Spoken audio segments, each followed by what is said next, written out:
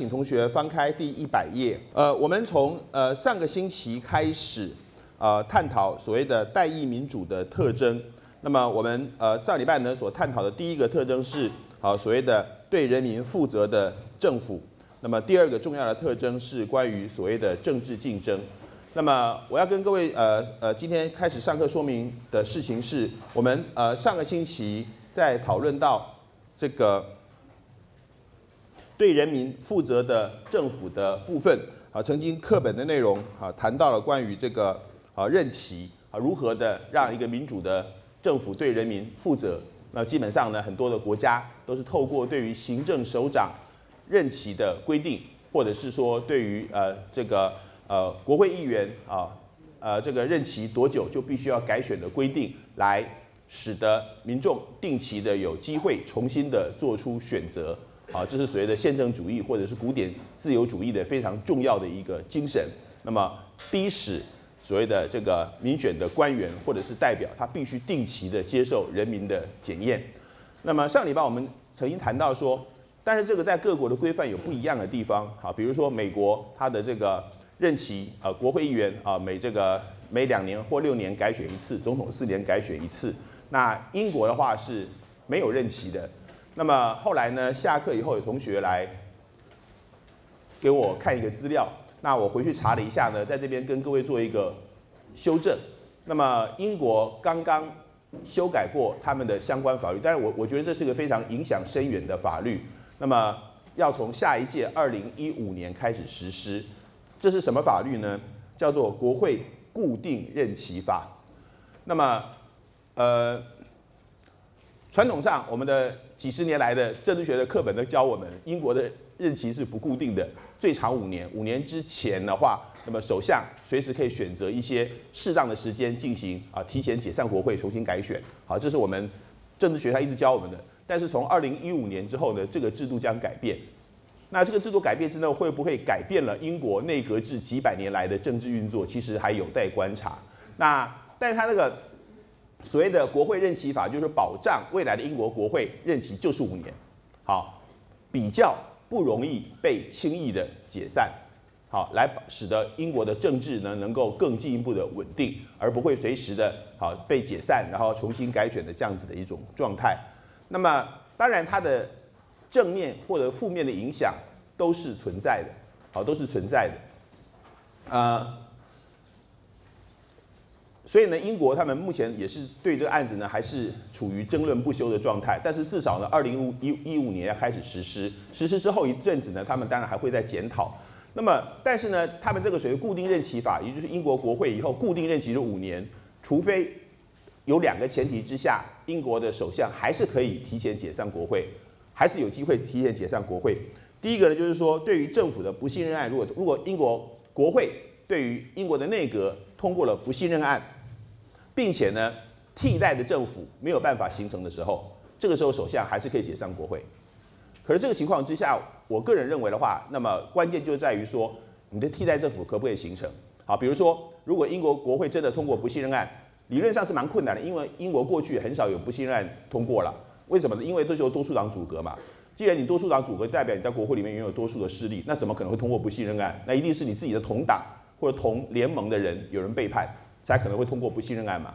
那这个时候呢，如果首相故意的，就是让他们的政党没有办法继续形成新的政府的话，那当然首相就有机会来解散国会。可是终究呢，这样子的解散国会权呢，变成被动，有点类似台湾，好，就是变成被动解散国会，而不是像过去首相随时可以主动的解散国会。所以这个情况之下，对于国会相对而言还是有保障的。好，这是第一点，就是说当英国国会通过不信任案，而替代政府没有办法形成的时候，国会还是可以被解散。那么第二个但书就是说，如果有三分之二以上的国会议员同意提行提前举行大选，当然这个情况也很难啦。那么要叫国会自己把自己提前解散，然后重新选举，对不对？这个理论上也不是那么容易的。当然像台湾呢，更更不可能嘛。我们花费选举花费那么高，对不对？四年一次已经哀哀叫了，如果还提前解散的话，这个选举经费筹措不易。所以呢，叫国会议员至少并且还有三分之二以上通过要把自己解散，其实。也很难，但是英国目前的国会固定任期法的话，就是在两个前提：如果国会通过不信任案，而替代政府没有办法形成的时候，首相还是可以解散国会；第二个就是有三分之二以上的国会议员同意提前解散国会重新开选的话，所以我想二零一五年这个制度实施之后，所谓的英国的过去的所谓的任期不固定的这样子的百年来啊，不是百年来几百年来的传统，可能真的会受到相当大的一些影响跟挑战。好，所以这个部分，因为这是最新的发展，我们课本也还没有 更改到这个部分，所以我想呢，并且很有趣的是，我查了一下。这个对于英国而言非常重大的一个这个宪政发展的一个这个这个历史性的一个事件，在台湾的媒体好像没有人报道。好，我们的台湾媒体非常具有国际观，所以呢，这个完全不报道这个新闻，所以我们台湾也都无从无从得知这个东西。那呃，很感谢同学上次这个呃跟我提到这个讯息，那么当然在这边跟同学做一个新的一个这个。呃，修正，这是我们上礼拜课本内容提到的这个部分。所以呢，现在的英国所谓的任期不固定，事实上已经有所保留跟调整。好，这是跟同学们做一些说明。好，那我们现在回到课本一百页，我们继续来呃，针对上个星期的内容，好，做进一步的一个探讨。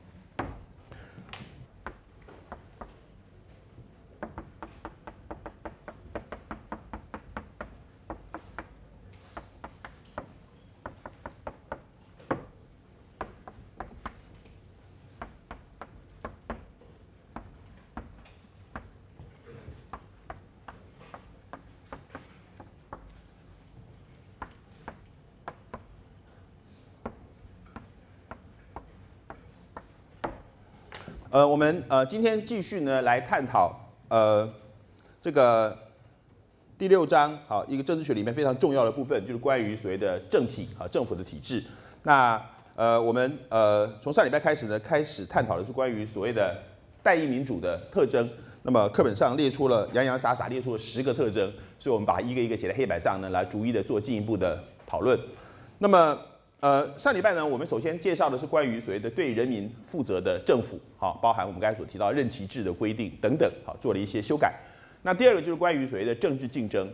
那政治竞争当然，呃，上礼拜呢曾经谈到，也就是说，所有的选民至少有两个选择，好，选民你有所选择嘛，就是那个无论是政策，或者是呃民选的政府官员，或者是民意代表。人民有所选择嘛，这才是所谓的这个民主的一个很重要的一个一一一个概念。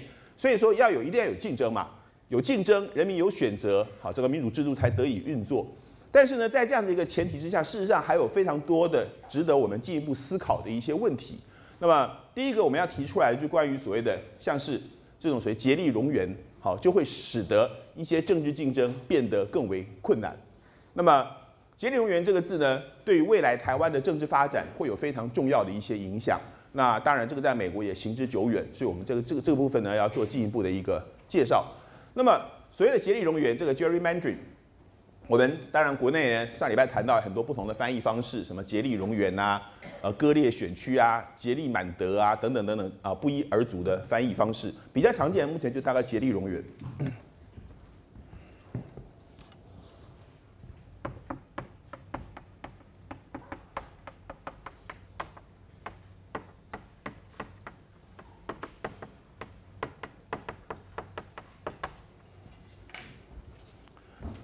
这是呃目前呃国内的政治学相关的教科书似乎比较常见到的翻译，当然这个并没有，因为这只是一个英文的翻译名词而已。它的来源是这样子，好，竭力加上荣源合在一起的一个字。那主要是哦，美国在一八一二年的一个马赛诸塞州的一个州长，叫这个这个叫做哎 Elbridge Jerry，那么 Gary，那么这个他这个州长呢，利用他的州长的职权，好，对于他们的地方议会的选举的选区划分，好，来做了一些手脚，好，就是其实当时最早美国十三州刚刚独立的时候呢，许多的一些权利是属于州的，到今天为止还是一样。我们等下会说明，像美国现在的话，选区划分的话，在五十个州里面都有不同的规范，如何来划分选区？那早期的话，其实州长握有很大的权利，那后来逐渐逐渐的，可能由州议会来主导选区的划分，或者是说在州议会外面，州议会任命一个特别的一个委员会来进行选区的什么啊，号称独立公正的委员会来划分选区等等啊，也可能有州长来任命一个特别的啊一个委员会啊等等等等选区划分委员会来划。所以其实美国的五十个州，每一个州呢都有各自不同的选区划分的方式，这我们等一下会做进一步的介绍。然后呢，当然也讲一些实物的东西，对照我们台湾的状态来跟大家做一些这个说明。那么，而当时呢，马赛诸塞州的这位州长，他就有很大的权力来对于他们的州议会的选区来有这个所谓的这个呃这个划分的这个权利。那么他就把一些对自己的政党比较有利的一些地区呢，划在一起。好，我们史上所说的这个呃，你的这个地盘嘛，对不对？或你的版图嘛，其实在台湾也有嘛，对不对？啊，某些地区可能是民进党的势力，某些地区是国民党的势力，他把对于自己政党比较有利的地区，他把它串在一起，画成一个选区。所以呢，选区画出来的形状呢，就奇奇怪怪的。所以呢，他的这个选区划分的方式，当时一公布之后呢，就马上被媒体抨击。好，尤其是当地的一个报纸。就一个漫画家就把这个这位杰利州长的这样子把选区画的很奇怪的方式呢，用一个讽刺的漫画来形容。好，这个讽刺的漫画就把这个他所画的选区呢，就描述成像一个蝾螈。蝾螈什么叫 salamander？我也不晓得蝾螈是什么，某某某种两栖长得很特殊的两栖类吧？好吧，这个反正就是他把它画用一个奇奇怪怪的一个形式，然后呢，甚至把他的姓跟这个“荣源”这两个字合在一起，创造一个很有趣的一个字来讽刺他，好叫做这个这个叫做 Jerry Mandry。那这个这个漫画，我记得在我的个人网页的那个，就是我们政治学的那个底下的一些呃参考的一些一些资料里面，其中有一幅是这个，如果同学有兴趣，可以自己点进去看，那是蛮有名的一个经典的漫画啊。那么就是来讽刺他的这个这个这个划分方式。那从此之后呢，他就没想到就名扬千古。好，这个永远跟他脱离不了关系了。这个字就被创造出来，就是叫做好一种划分选区的这种很特殊的情况，以对自己一党或者一己之私有利的一种选区划分方式，好，就叫 Jerry Mandry。那么这个呢，就是把这两个字合在一起的，这是这样这样一个来源。当然，这会影响政治竞争嘛？啊，理论上每个人一人一票，但事实上的话，每个政某一个政党它就是会得利。好，这个叫做所谓竭力容源。而我们必须说明的是，那么当然随着美国也是一样，从十三州到现在五十州，人口几百万到现在三亿，那么民智已开，那这种情况还是可能存在吗？当然还是有的。那么其实呢，当然从制度面而言的话，一些制度性的设计也更赋予了所谓的竭力容源始终存在的一种空间。怎么讲呢？我这边稍微做一些说明，然后把我们台湾的状况也跟大家做一些这个说明。那么美国我们也知道，它的宪法最早的规定呢，设计了两院制。好，一个叫参议院，一个叫众议院。参议院呢，每周两名，这没什么好说的嘛，对不对？然后不同时期改选，每一次改选一名，所以说全州为选区，所以参议院没有什么选区划分问题。那么众议院当初所设计的一个，当时他所设计的两院制，参议员就是代表各州来监督联邦政府，所以早期的参议员是由州长任命的，啊，或者说由州议会选举产生的，它不是由人民直选，一直到二十世纪初年才才改成直选，所以最早的参议员他是间接选举的。他是代表州，就像是州长的特使或者是这个大使一样，派驻在华盛顿 D.C. 来监督联邦政府有没有胡胡作非为的。因为当时十三个州就等于十三个国家嘛，所以他等于说他是州长的任命的全权大使，好住在这个华盛顿 D.C. 的这个大使，所以他基本上都是州长或者州议会同意的这样任命的一个一个一个形式。那么众议员他是真正代表人民的，是按照人口比例产生的。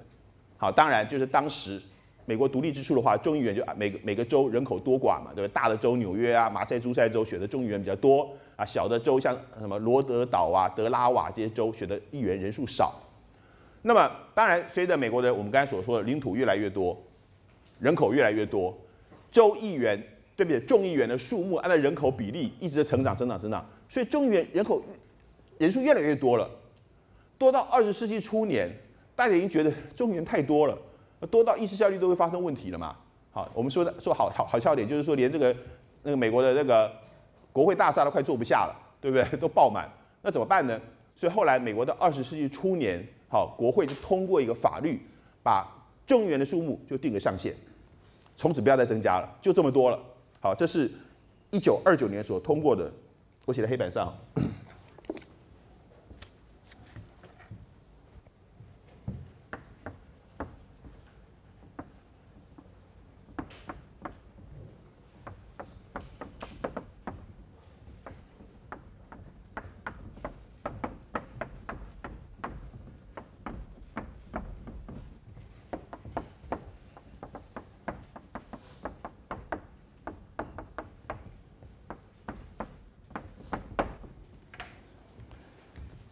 呢，在一九二九年通过这个法律，叫 Reapportionment Act，好，就是随着这个选区重划法，就是固定了众议院的这个员额就四三五，好，所以我们上礼拜啊不是上上学期给各位讨论到选举人团，他选举人团数目怎么来的？就是众议员的数目加上参议员的数目之和，对不对？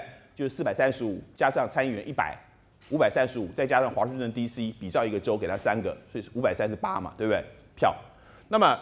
众议员就固定四百三十五，那四百三十五，那可是你不可能固定不动嘛？为了反映各个州之间的人口移动，好，有些州人口越来越多，好，我们知道像那时候二零年代末期的时候，三零年代的时候呢，那时候全美国最大的州分到众议员人数最多的就是纽约，好，当时的纽约有四五十名众议员，好，当时的加州才二十几个，好，普遍的南部的州都人数都很少，可是我们知道呢，将近一个世纪以来，美国的人口移动非常显著。北方的工业州的人口越来越少，南方的阳光带还有加州的人口越来越多，所以为了反映人口的变迁，美国在这个法律里面也同时规定，每十年根据好人口统计局的统计结果，由国会来重新分配各州的众议员数目，所以各州的众议员数目每十年检讨一次，然后呢由国会来立法通过来决定，哎，加州有几个？德州有几个，纽约有几个，佛罗里达有几个，由国会立法通过决定各州的数目，这个叫做 reapportionment，好，重新分配各州的国会议员数目。当然，我们知道最新一次的，就是二零一零年的这个所谓的这个众议员数目的重新分配。那目前已经是加州了嘛？加州目前已经分到了五十三位众议员了。好，加加州已经分到五十三位，第二是德州，应该是分到三十一位吧？纽约只剩下二十九个了嘛？好，就是说这个每十年由国会立法，根据人口比例来分配各州的数目，但是总加起来都是四三五。但是我们也知道呢，根据宪法保障每个州至少一位，至少一位。那么我记得根据最新的这个平均数的话，大概目前最新二零一零年这一届分配的话，大概美国的众议员大概一个众议员大概代表大概七十万左右的人口，一个众议员代表七十万左右人口。可是我们也知道，有一些小的州人口根本不到七十万，好像阿拉斯加呀、什么蒙大拿州啊、怀俄明州这些人口好都是地广人稀，人口不到，但是宪法保障每州一名，这个状况各位了解就跟台湾一样，对不对？我们的宪法里面规定每个县市立法委员至少一名嘛。当然很多人批评什么连江县、金门县有一名，美国也是一样啊。啊，美国这个阿拉斯加州二三十万人也是有一个啊。好，这个因为你不可能说这个州人口太少，一个都没有。或者你把阿拉斯加州跟什么蒙大拿州合并，让它产生一个，那也不可能。所以保障每个州至少一位，但是总加起来是四三五，这是一个层次，就是由国会，好，在美国的话是由国会立法来决定各州的议员数目。那好，你现在加州五十三个，十年前二零零零零年那一次，加州那时候分到五十一个，那现在呢多了两个，因为人口增加多了两个变五十三个，那怎么办？是由各州来决定它的选区的重新划分。好，那个叫 redistrict。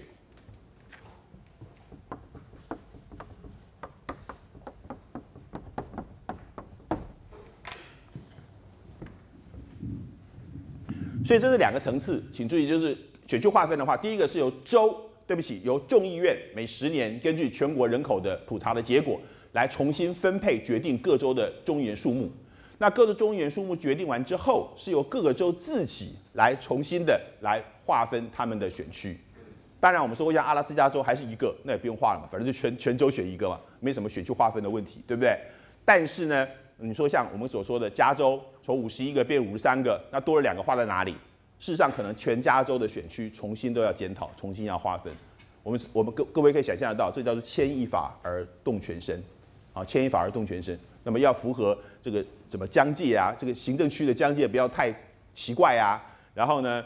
呃，这个要符合什么行政啊，行政区的这个完整性啊，要符合历史、人文、自然景观呐，对不对？等等等等，很多因素要考量，甚至历史的一些因素啊，等等。当然，现在还考虑到族群的因素，啊，这我们等一下还会再讲。所以这个情况之下，各个州的选区划分的话，这个在目前在美国的话，还是都不一样，各州的做法，因为这各州的权责嘛，五十个州做法都不太一样。我们刚才说过，有些州州长还是有最后的否决权，那大部分是由州议会来主控，啊，州议会来来来来划分选区。那有些州会授权另外一个什么选区划分委员会等等等等，各式各样不同的划分方式。那我记得二零一零年那次划分还有很有趣的，我自己以前念书的地方德州，那么德州的这个，我记得是它的这个划分的是在这个议会里面是由这个民主党居多数。所以民主党具有主主主导地位，怎么样划分选区？那共和党的议员呢就拒绝背书。后来共和党议员集体出逃，全部跑到墨西哥去，然后全部被抓回来，回回到议事这个议事厅再重新划分选区。因为那个他们斗得也非常非常凶。当然也经过了这么多年，将近一个世纪的每十年十年的重划。所以上礼拜我们也曾经说过，其实到了到了现在，美国的国会议员众议员的选区，百分之八九十都已经是没有竞争性的选区了。对不对？这个某些选区固定的都是民主党当选，某些选区固定的都是共和党当选。当然，他共和党的这边当选了两任、三任、四任之后，这个地方大概要击败他也很困难了。同样，民主党也是一样。所以事实上，在到了现在四百三十五个选区里面，可能有将近四百个都已经差不多固定，各党的势力差不多也都画出来了。也可能是这个可能是鸡生蛋，蛋生鸡的问题了。当时画的时候，可能就按照各党的势力做竭力容源，每十年搞一次嘛，对不对？然后也因为如此。也可能是因为当时要各党的势力划分选区，然后各党在这边在努力的苦心经营，那很多年之后，这个他的选区也不容易被击败。所以其实以美国来说的话，这种政治竞争，回到这个主题，其实看起来是有这样的形式，可是在实质上的话，政治竞争呢也是被很多人所挑战。那其中一个很大因素就是我们所说的，好政治学上非常重要就是关于所谓竭力容源的问题。那这是美国的划分过程。那回到台湾，我想我们在台湾还是了解我们台湾实际的状况。以立法委员来说的话，我们台湾其实在两千零四年之前，我们采取的是复数选区，这我们上学期最后上课谈到嘛，对不对？我们是复数选区，所以立法委员的选区基本上问题不大，好，问题不大。那么也就是说，按照人口增，因为我们是以县为单位，所以每次按照人口的增加的话，调整立法委员的总额的话，好，比如说这个过去这个呃是一百六十一。第二届国大呃立法委员一百六十一席，到了三届立委是变一百六十四，那增加了三席，就看哪个县市好人口增加比较多就给他等等。那后来呢，这个九七修宪之后，立法委员固定是两百二十五，好，这是我们九七修宪之后固定立法委员二二五，呃，我写在黑板上好。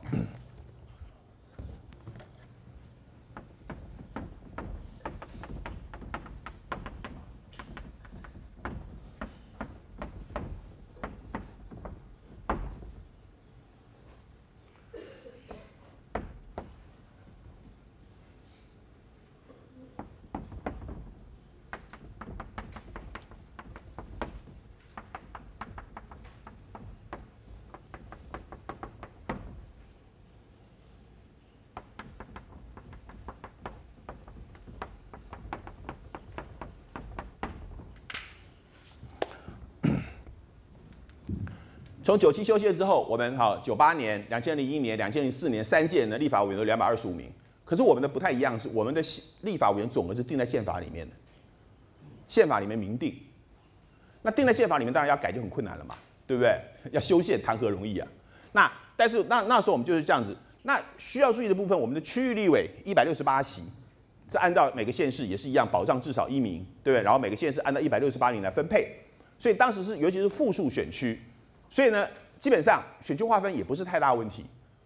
举例来说，好，当时九七的九八的时候呢，台中市本来是应选七名，好，应选七个立委，那就是我们复数选区嘛，可能有二十个人参选，每个人投一票，对不对？单计非常的投票啊，每个人投一票，然后呢，得票最高的前七名当选。那么到了两千零一年，台中市因为人口增加了，多分到一席。当然，因为宜来就少了一席，好，就是每个县市之间做调整。台中市从七个变八个，那本来是前七名当选，那现在就前八名当选那还是二三十个人竞选，然后每个人还是投一票，那最高的前八名当选。那一来本来是前四名当选，就变成前三名当选，就是这样子。所以基本上是每个县市为选区，问题不大。这个是过去的状况。那么到了两千零五年修宪。好，确定了两千零八年的立委选举呢，改成了单一选区两票制。好，这个我想各位都非常熟悉。单一选区两票制之后呢，问题就来了。我们现在是一百一十三席。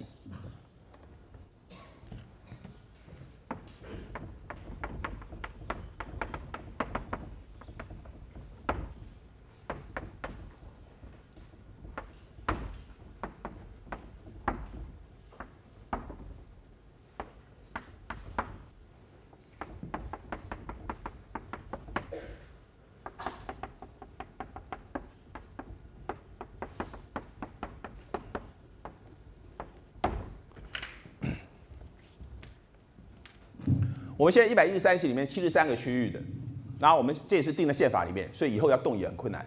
一百一十三个立法委员里面，其中有七十三名由各区域产生，然后宪法里面也明定每个县市至少要有一名，每个县市至少一名。所以我们刚才说过呢，那么按照目前来说，上一次的话，我们两千零八年的时候，那时候台湾大概两千三百万人嘛，各位可以算算看。大概产生七十三位区域立委，所以每一个立法委员大概代表三十二万人左右，每一个立委代表三十二万人左右。好，这这这个随着民众的民意啊，所谓民意。那么一个立委代表三十二万人，那么但是呢，台湾的很多的县市人口不足三十二，我们刚才说金门啊、连江啊等等这些都不足三十二万人。那理论上，我们这个选区立委的划分，好，如果各位还记得的话，我们也是采取最大余数法，采取最大余数法。换言之，如果你有三十二万人，至少有一席，对不对？如果你有六十四万人，你至少有两席。那问题是，如果你有四十万人，那怎么办？你是一席还是两席？那就比各个县市比那个余数，看谁的剩余的余数大。各位了解意思吗？余数大的可能就多，如果还有剩下的数目呢，就多分到一席。所以呢，那时候。最亏的有两个县市，一个叫做新竹县，一个叫做宜兰县。因为按照人口计算，这两个县市都是四五十万人，可是他们还不到六十四，还还不到两个配额，可是一个配额又三十二，又超出很多。但是呢，按照这样大家分一分算一算，他们只分到一席。所以目前新竹县就一席立委，他们虽然人口有五十万，一席立委。那宜兰县人口也大概五十万左右，一席立委。那他们就说嘛，你看看连江才八千人也一席立委，那五十万人一席，就就是这样这样分过来的。好，这是一个我们所谓目前划分划分的方式。那回到两当时两千零八年，两千八年我们第一次台台湾有史以来第一次实施单一选区制，当然席次减半了嘛。好，以台北市为例，台北市过去的立法委员在两千零四年之前，台北市区域立委总共有二十位，好，分为两个选区嘛，北区南区各产生十位，总共有二十位立委选区。这个席次减半之后，台北市目前只剩下八个，只剩下八个立立委，并且是单一选区制，因此全台北市要划成八个单一选区，怎么划？谁划？那个过程哈，各位其实蛮有趣的一个一个过程。我这边稍微说这个故事，我记得我上学期稍微提到一下，还是把它完整的故事陈述一遍。当时两千零八年的立委。好，按照我们宪法规定，要在两千零八年二月一号要就职。那按照其他相关法律的规定，选区划分至迟于新的立委就职日之前一年前要公布。换言之呢，两千零八年二月一号选出来的立委，后来是两千零八年一月十四号做立委选举嘛？两千零八年二月一号就职，对不对？之前也就是两千零七年的二月一号之前，必须要公布新的选区。你不能说要选呢？立法委还不晓得选区在哪里，对不对？所以呢，在两千零七年一月三十一号之前，好，行政院要陈请总统正式的公布新的选区划分方式。所以那时候呢，在两千零七年，如果各位回去那时候看看翻翻当时的报纸，两千零七年一月最热门的话题就是选区划分。当时的一个做法就是中选会授权各个县市的选举委员会，好举办，其实这从两千零六年开始了，好举办各种公听会，好来听听各方的意见，到底怎么画啊？台北市要用八个，那到底该怎么画？对不对？那么，然后呢，台中市从八个变成三个，那三个选区到底怎么画？好，以台中市而言的话，有些人主张北区跟北屯要划在一起，有些人说 no no no，北区啊北屯区要跟西屯区划在一起，啊有些人说西屯区要跟南屯区划在一起，各种方案都有啊，基本上都符合大概一个选区大概三十二万人左右，上下大概不超过百分之十的这样子一一一个原则。所以每个县市选举委员会都都举办公听会，听听各方意见。那那次那次公听会很有趣，当每个县市举办的时候呢，所有该县市选出来立法委员几乎都到齐。很少有立法委员呢那么热衷参加县市的公听会的，因为那都跟攸关自己未来的生命啊，对不对？非常热烈啊！比如说台中市的公听会了，哇，所有的现任立委几乎全部到齐，每个人都各有主张。其实每个人主张其实都有个人的选区考量。以前的立委都是全像以台北市而言的话，是全台北市的北区选出来的嘛。但现在你只需要在某一个特定的啊两三个行政区选而已。那么以台东市而言的话，你可能是以过去是全台东市都要设服务区，但是未来你可能只需要服务北屯啊北屯跟北区的人而已。所以呢，这个时候呢，怎么划分，每个人都很关切。那关切完之后呢，后来当然每个县市委员会按理论上就是听取各方意见之后呢，他们提出了选区划分草案。这所有的选区划分草案呢，呃，不是所有县市委员会都有争议了，因为按照当时的规定。有十台湾有十个县市只选出一名立委，那个没有问题。好像是台东、花莲、宜兰、基隆、新竹市、新竹县、嘉义市、澎湖县、金门县、连江县。好，这十个县市只选出一个，那没有选出划分问题嘛？对不对？其他的除了这十个县市之外，每一个县市都必须要划提出选区划分草案。然后呢，这所有的县市所提出的选区划分草案送到中选会，每一个方案，中选会并且规定只能提出一个。好，你不能说推诿责任，提提出两三个方案让呈请上级决定，对不对？每个县市规定只能提一个，可是到最后还是有一些县市提出两个以上，因为实在摆不平。比如说台北县，啊，台北县过去选出二十八个，现在只剩下十二个，怎么划成十二个？那么大的台北县划成十二个，他们后来还是提出两个。后来，但是无论如何，这所有的方案送到中选会，中选会将这所有的方案全部都不满意。每一个县市没有一个县市满意的，全部退回。每个县市又重新召开公听会，再提出方案送到中选会，中选会还是不满意。后来中选会自己画，中选会全部画完之后呢，送呈请行政院核定，行政院会通过之后送请立法院。我们跟美国类似，要由立法院做最后决定。最后立法院对于经过这么复杂通过到立法院的。最后，立法院吵成一团，每个立法院都不满意，对他自己选区都不满意。后来呢，立法院对于行政院所送过来版本全部都不接受。那最后怎么办？最后呢，按照我们相关规定呢，最后呢，如果说实在没有办法解决的话，好，如果有某些县少数县市实在没有办法解决的话，按照法律的规定，是由立法院院长与行政院院长协商解决之。那最后多少县市不满意呢？全部。除了那十个县市之外，全部都是由立法院院长跟行政院院长，因为这实在攸关至关重要，好协商解决。当时立法院院长叫做王金平，当时行政院院长叫做苏贞昌，也就是现任的民进党党主席。就他们两个人协商解决，讨论了一次没有办法解决，讨论两次，一直到一月三十一号之前一定要定案啊，怎么办？其实那时候有两个部。两个院长协商解决的时候呢，立法院院长所代表其实就是国民党的版本，行政院长那边所代表就是民进党的版本，大家各有坚持，然后呢，每个人后面都一堆幕僚。据说啦，当时双方在协商的时候，后面一堆幕僚，每个人都带着所有的地籍资料，有没有？所有的人口数，还有一大堆计算机在那边算。政治最后搞成这样子，对不对？靠计算机来决定，这还还不最后怎么样呢？实在版本差异太大。好，比如说。到了最后，每一个县市立法院院长跟行政院长都没有办法决定。好，举例来说，屏东，好，这是苏贞昌最关切的屏屏东的选区划分，三席怎么划？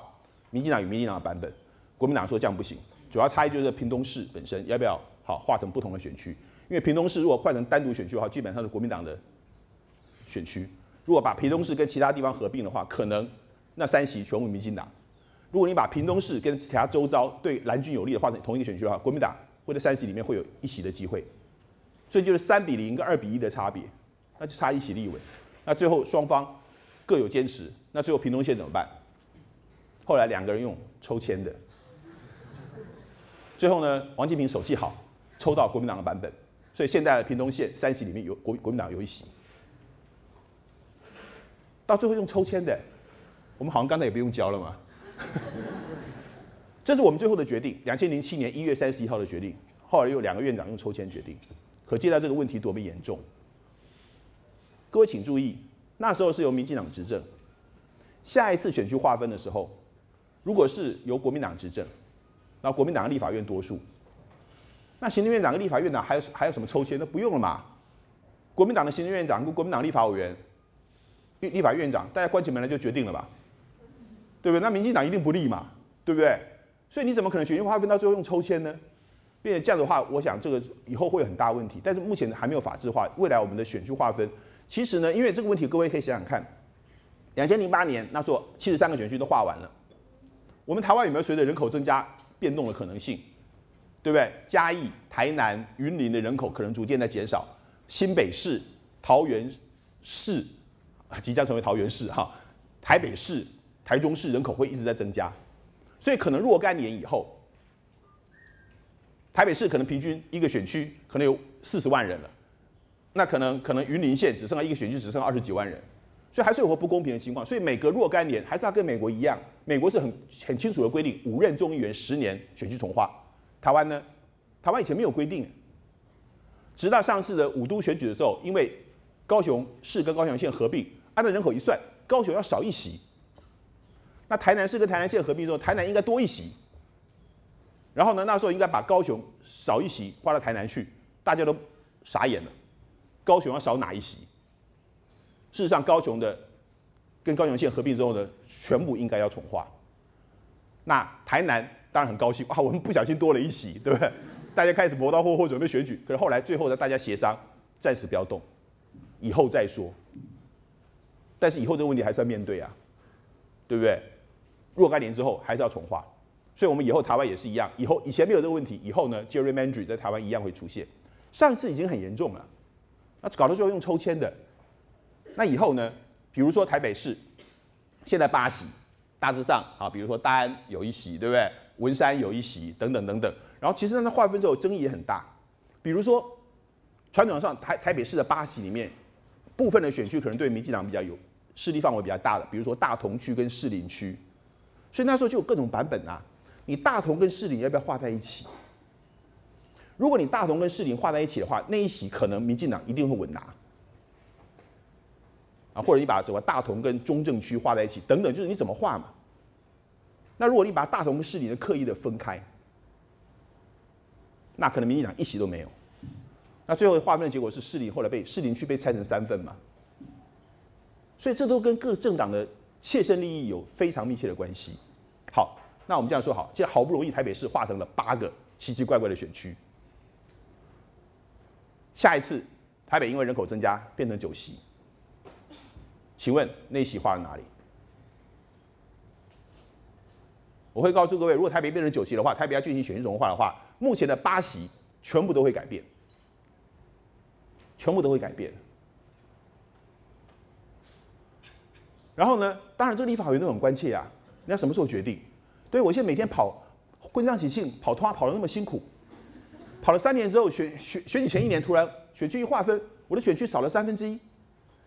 对不对？我的三分之一许划到别的地方去了，那我这边划了又多进来一些人，我完完全没有服务过的，那对他当然有影响啊。这每个立立法委员都会有影响啊，对不对？像那时候划分，我们举两个例子哈。两千零八年的时候，对不起，我这边多花点，因为这跟我们台湾其实未来政治发展非常有密切的实实物上的问题。两千零八年的划分选区的时候，台中市就很出现一个很有趣的选区，哎，这个上个月刚刚选过吧？好，就是我们台中市的第二选区。因为某严姓立委啊因案要入狱，所以要重新改选。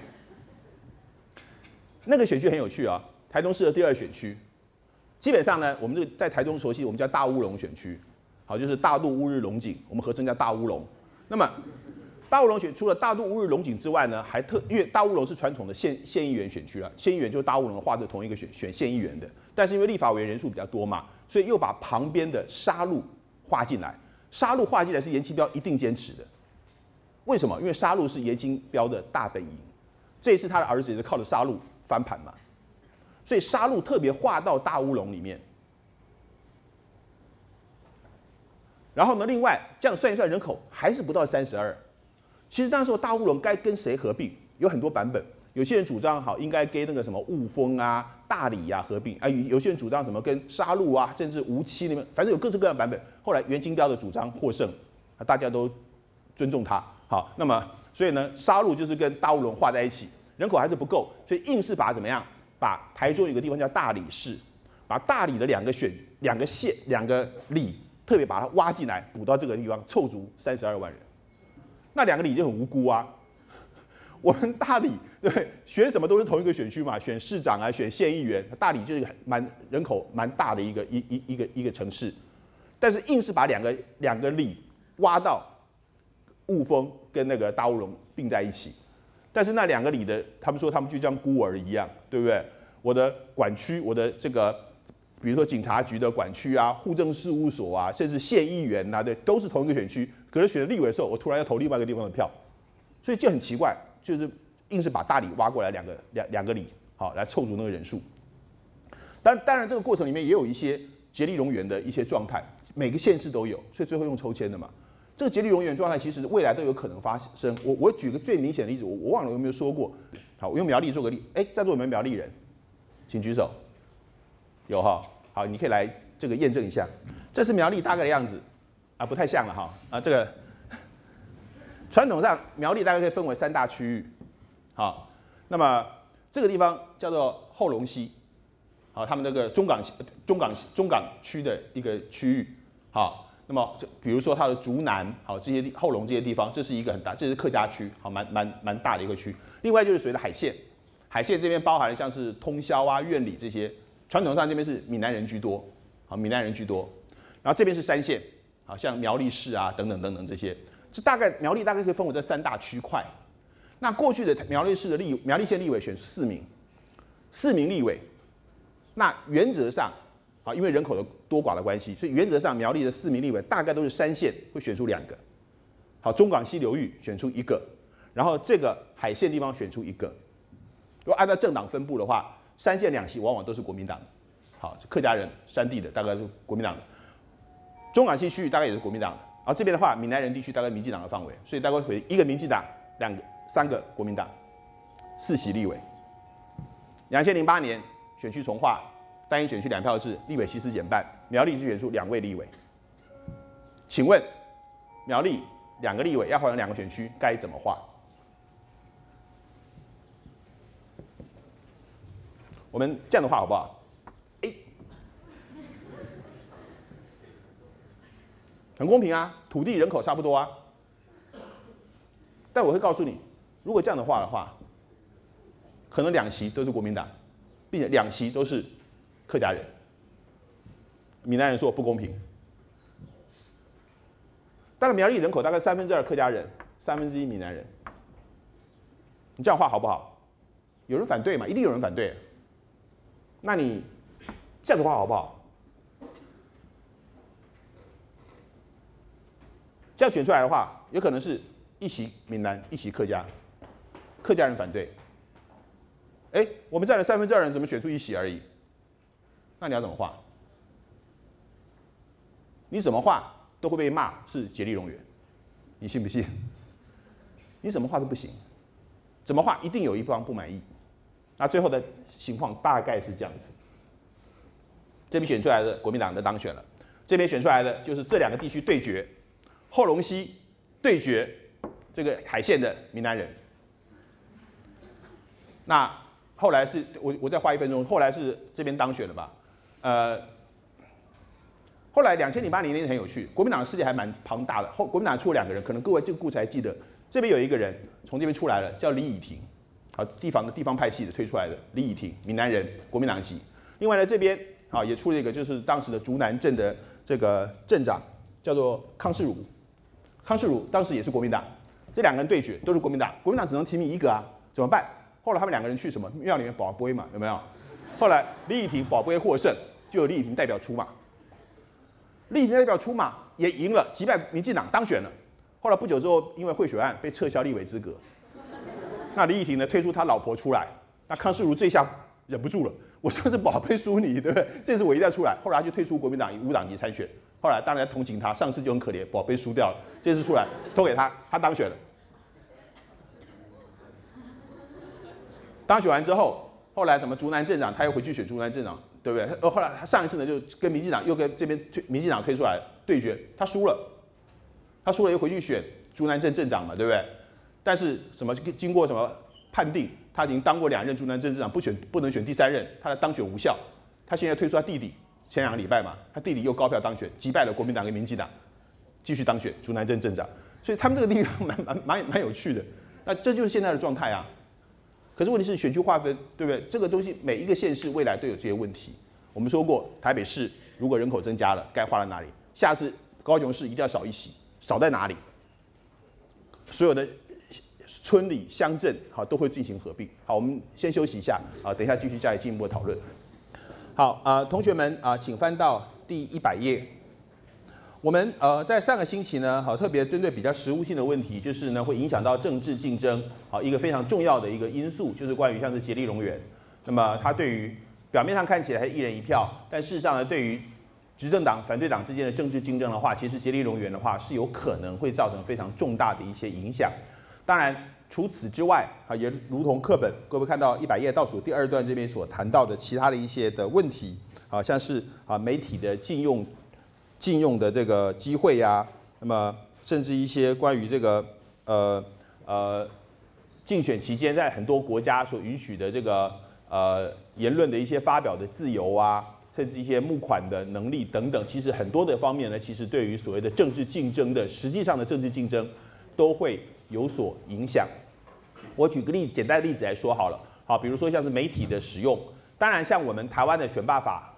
也有同样的规定，好，就是所有的媒体必须公平的提供所有的候选人有相同的机会来使用，啊，甚至媒体还可以啊，必须要啊提供啊，比如说这个提供政党跟候选人的什么呃证件发表的机会啊，啊，每个政党每个候选人同样的时间啊，等等等等。但是当然这是一些制度性的规范，可是事实上一直到今天为止，我们还是会发现，举例来说，台湾的对于政党竞争的时候的和候选人竞争的时候，媒体的曝光。其实会有很大的差异。举例来说好了，台湾会有很多的一些媒体观察基金会，那么每一次在台湾的竞选过程里面，真的是看所有的新闻媒体，尤其像那几个新闻台，就用秒来计算。好，比如说啊，上一次可能是这个啊马英九跟蔡英文竞争总统，对不对？然后来计算每一个媒体他们所出现的马英九的秒数跟蔡英文的秒数，都会来看看看哪一个电视台有明显的。偏袒哪一个政党或候选人，那都会公布这些资料。但是你会发现，就算是某一个台秒数相同，哎啊，这个他一天节目里面啊，马英九总共总共出现了五百秒，啊，蔡英文也出现了五百一十秒，其实差不多了哈，看起来好像很公平，但是你总会觉得怪怪的。举例来说好了，台湾媒体会惯用很多其他的方式，就是关于秒数来看的话，并不见得代表两个候选人他是一样的曝光程度。比如说，你看某一个候选人，你转播到他的时候呢，他的镜头总是在发表重要谈话，都是近的镜镜头，对不对？然后他发表一些重要的政策，然后另外一个候选人出现的时候呢，始终是远镜头，他就是在吉普车上跟大家挥手，而不晓得他说什么。那同样出现描述，可是事实上对选民的影响是很大的，对不对？一个一个候选人就是非常有机会谈他的政见，另外一个候选人是从来没有机会在那个电视台上说过任何话。啊，总是一个远镜头，一个远近远远距离的，他跟别人握手啊，他去菜市场跟人家握手啊，或者说吉普车上跑来跑去的镜头，然后他不晓得他干嘛，所以其实这中间还是会有实质上的一种这种差异性。好，以后各位下次选举，你就会观察到像类似这样很有趣的一些这个、呃一些现象啊，某一些比比如说啊某一个候选人，好，就算是他的呃各地的竞选总部。开张了，好，都是现场 SNG 实况转播，对不对？然后另外一个候选人就不可能享受到如此好的待遇啊。某一个候选人竞选造势晚会慷慨激昂的陈词的时候啊，那都是几乎是现场转播，那另外候选人几乎从来没有这种镜头出现。所以其实，在不同的新闻媒体上看看见，如果你只是单纯看秒数的话，或许大致相同，但事实上出现的实质内容上还是很大的差异。像这当然这些都是会影响到属于政治竞争。好，所以政治竞争它的意涵，在个民主国家里面，我们只能说尽量的朝这个方面努力。我们这边所谈到的特征也都是大概尽量朝那个方面努力，很难说哪一个国家就完全百分之百都做得到。啊，只是它就是往这个方向努力的一种可能性。好，这是关于第二个关于政治竞争的部分。当然，最后面政治竞争部分还包含了就是你必须正确的计算选票。好，你你有公平的机会做选区的划分，有公平的机会让。候选人使用媒体，好，大家有同样的机会来发表言论，啊，进行募款。当然，最后的一关，选票的计算必须要正确。好，如果说都是坐票等等等等情况，那也会影响到谁实际上公平的政治竞争。好，这个部分我想我们就不用多讲了。那谈论到所谓的一个代议政治的第三个重要的特征，好，各位看到一百页的最下面，好，就是关于所谓的政权轮替。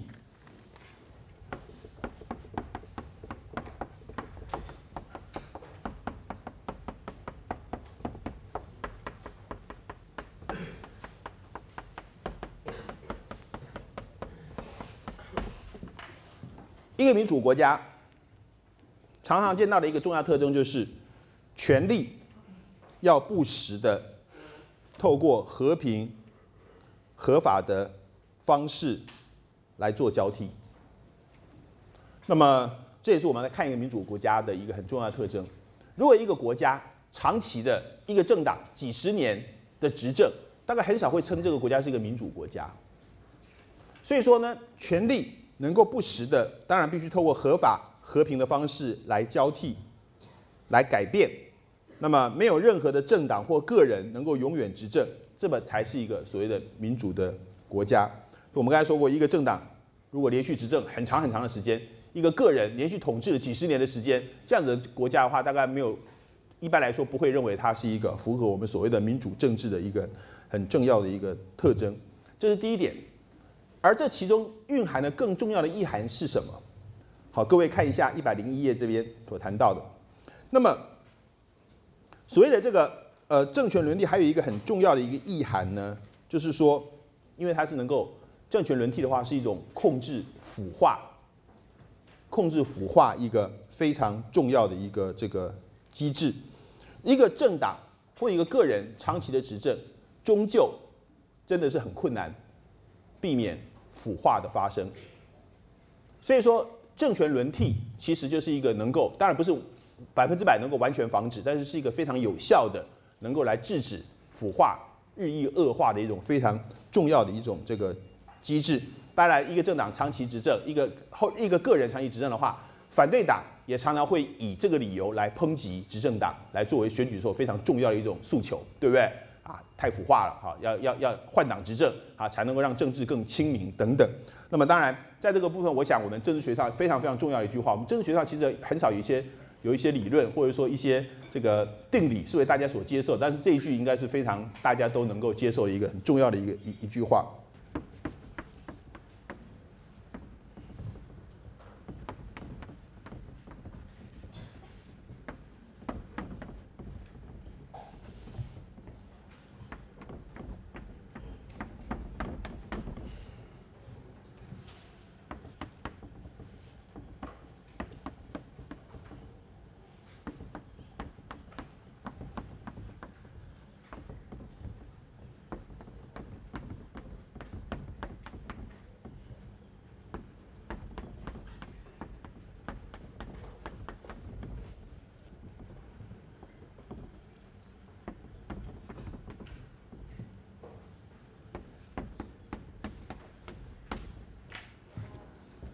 们说过呢，政权轮替，啊，一方面呢是表现出啊，逼使所有的政治人物或政党必须对人民负责，因为你做不好，人民可能就把你换掉了，对不对？人民定期的有机会来改变你，啊，这是非常重要的一个民主的原则。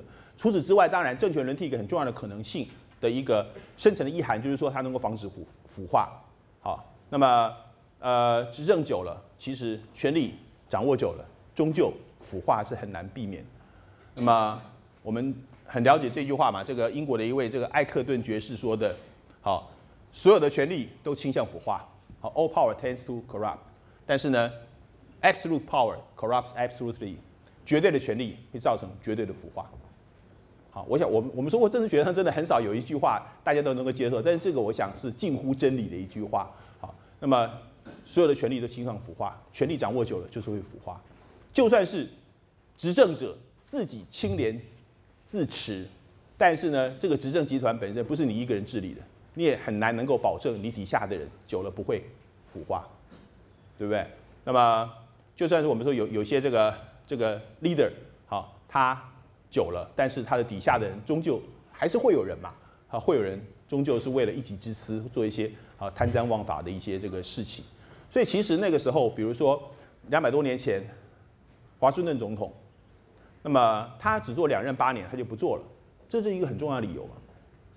那华盛顿他就他就自己说嘛，没有什么事情是非我不可的。虽然当时美国的宪法没有任何一个条文规定你只能做八年，而华盛顿当时正值壮年，他做了两任八年，受到人民普遍的爱戴，他要继续做第三任，没有任何人会反对，并且当时呢举国都希望他继续能够做总统，也没有任何的规定说他不行做，可是他。并且他说他身体状况也都非常好，可是他做了两任八年，他就是说他坚持不做了。虽然整个当时新兴的美国百废待举，大家都希望他能够继续领导，可是他就说他不要做了。其实很重要理由，他就他自己认为嘛，就算是我能够保证我自己做了八年总统，我是一个很清廉的人，可是我也没办法保证我底下的人再继续做下去的话，底下的人会不会有腐化的状态，对不对？所以一定要换人嘛。一定要换人啊！但不，当时还没有政党，不不见得是政党轮替的。但是他认为换人长期执政终究是不好的。好，所以华盛顿就做了八年，毅然的就回回去做农夫啦，他就不就不继续不继续执政了。就是因为就是因为所有的 power tends to corrupt，所有的权力绝对倾向腐化。我想我们读政治系的好人一定要记得这一点。执政久了，好腐化状况真的是很难很难避免。所以当然政权轮替，好交替执政，当然。防止腐化是有它一定的一个必要性，当然这也是我们来衡量民主的非常重要的一个指标。所以它也因为如此，好，各位看一下一百零一页的最下面，这边 key concept 这边有个东西叫 the two turnover test，这叫什么东西呢？叫做二次轮替的一个检测的一个指标。那么这什么意思？呃，我们上礼拜曾经提到一个第三波。好，提出的一个学者就是哈佛大学已经过世的一位政治学的教授，叫做 Huntington，对不对？那么 Huntington 除了除了第三波啊，什么什么文明冲突啊等等，事实上他这个东西也蛮有趣的，就是所谓的两次轮替的一个检验指标，这主要是检验什么？检验一个国家是否已经达到了民主巩固程度的一个重要的指标。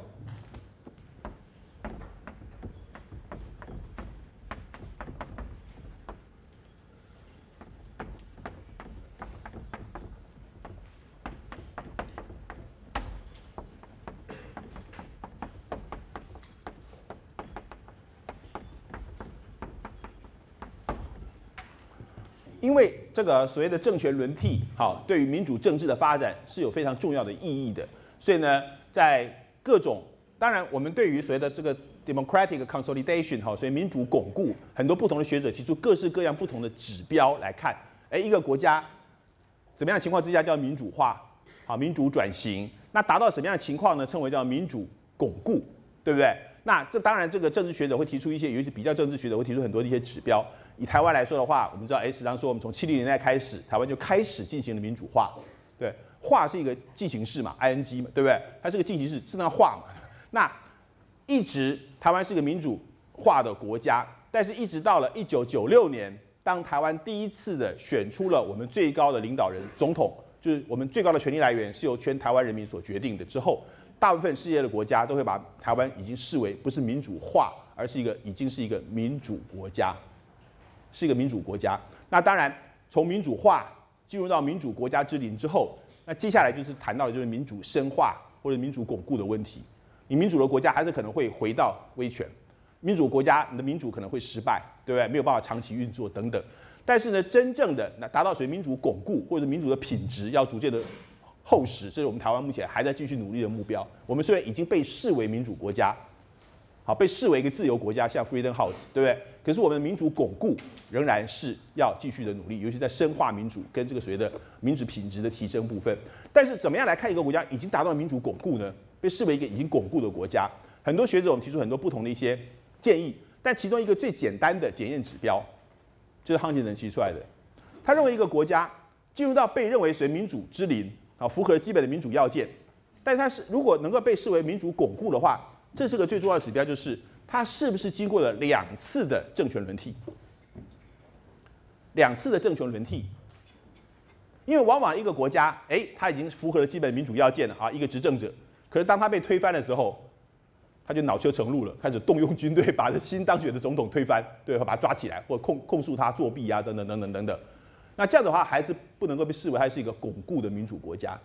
如果说一个政府掌握了权力，啊，像我们知道，就苏东坡的民主化浪潮，对不对？很多的共产国家，很多的独裁国家走向了民主。可是呢，当这些带领国家走向民主的这些这些所谓的开国元老、创国元勋，当他们第一次面对民主的选举的挫败的时候，他们能真的甘愿把权力释出，真的甘愿把权力放出来。然后这还不够，然后那个夺到了权力的那个执政党。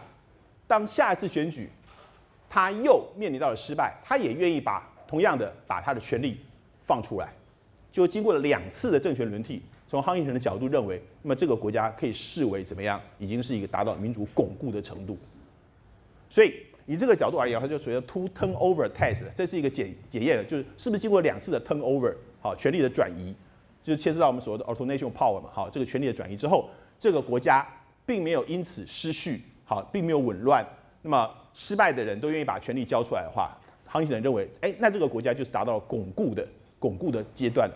所以台湾我们说过，九六年台湾第一次进行了所谓的民选总统。两千年长期执政的国民党第一次失去了权力。那么虽然选举结束之后呢，有一些小小的不平静。那么，比如说当时这个国民党的这个支持者包围了什么李登辉的寓所，对不对？逼迫李登辉辞去党主席啊，等等等等很多事情。但是事实上并没有太大的乱子啊，好，并没有太大乱子，好，军队也没有出来，好，来在做幕后的指挥，哎，怎么怎么等。然后国民党就把权力给了民进党。那么陈水扁经过了八年的执政，两千零八年国民党再度获胜了，那民进党又把权力交出来。所以呢，到两千零八年的时候呢，很多的学者就说，哎，台湾已经符合了所谓的。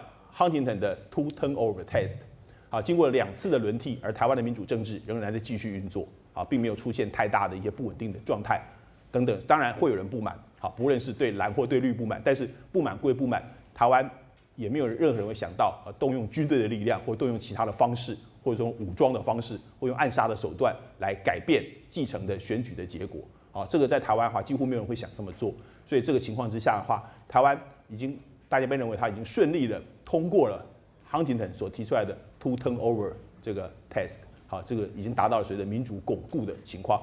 那当然，民主巩固了，我们也不要因此自满。我们知道台湾的民主的品质在很多方面还有待提升，好，尤其在基层基层选举的部分，好，比如说最近台湾又要举行农会改选，好，各位可以逐渐注意到最近台湾的一些媒体的报道，关于农会改选的很多有趣的新闻将会逐渐出现，好，各位可以注意一下。但那么。当然，这个所谓的这个民主的路还很长啊。但是，我想我们至少以这样指标而言的话，所谓的两次的政权轮替，台湾目前也已经达到了这样子的一个这个状态。好，这是我们对于所谓的好政权轮替的这个民主特征的第三个特征的一个简单的介绍。第四个被认为是代议民主的特征，就是不确定的选举结果。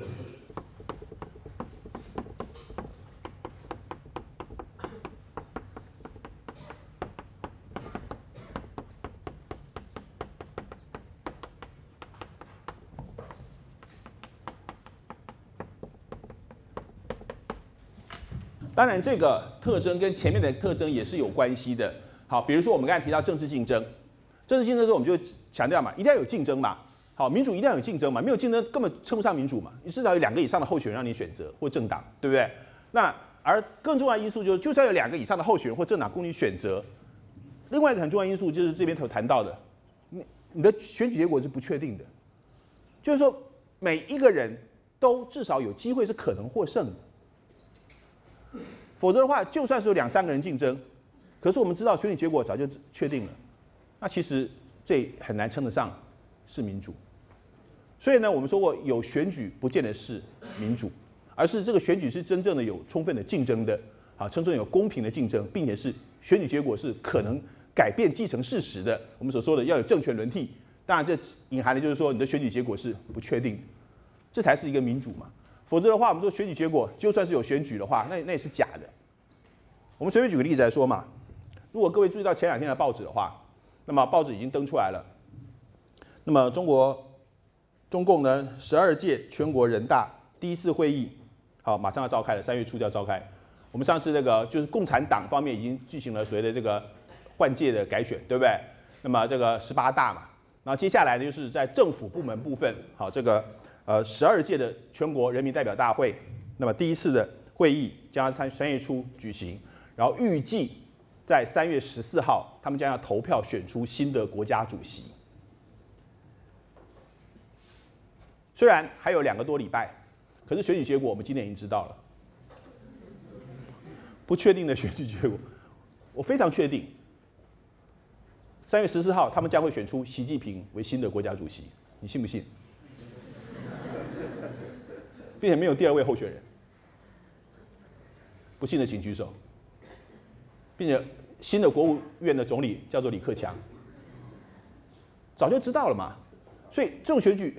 没有意义嘛，对不对？第一个没有竞争，第二个选举结果早就知道了。那当然，这个没有人会认为它是一个民主的啊，就算它有这个形式存在，他们号称的是符合中国特色的民主，但是事实上，一般来说，全世界都很难把它认为是一个民主的过程，对不对？因为你的选举结果其实早就确定，对不对？这个是基本上，这个完全不可能是被认我们认为所认为的民主。当然，我们说过，其实美国也有嘛，其实百百分之八九十的话。其实选举结果大概也差不多了，可是至少它的竞争是公平的。然后另外一方面还是有可能翻盘，然后还是有一些地方的话，它是有可能是产生我们所说的啊 swing 这种摇摆的这种可能性。但是像中国大陆的话，基本上这种情况都几乎不存在。当然我们说这是比例的问题了。那基本上的话，这也是一个我们来衡量民主的另外一个非常有趣的一个观察的这个指标。那那再接下来的话，下一个重要的一个这个特色是。各位好，看一下一百零一页的最下面所谓的 popular representation，好，所谓的人民代表制。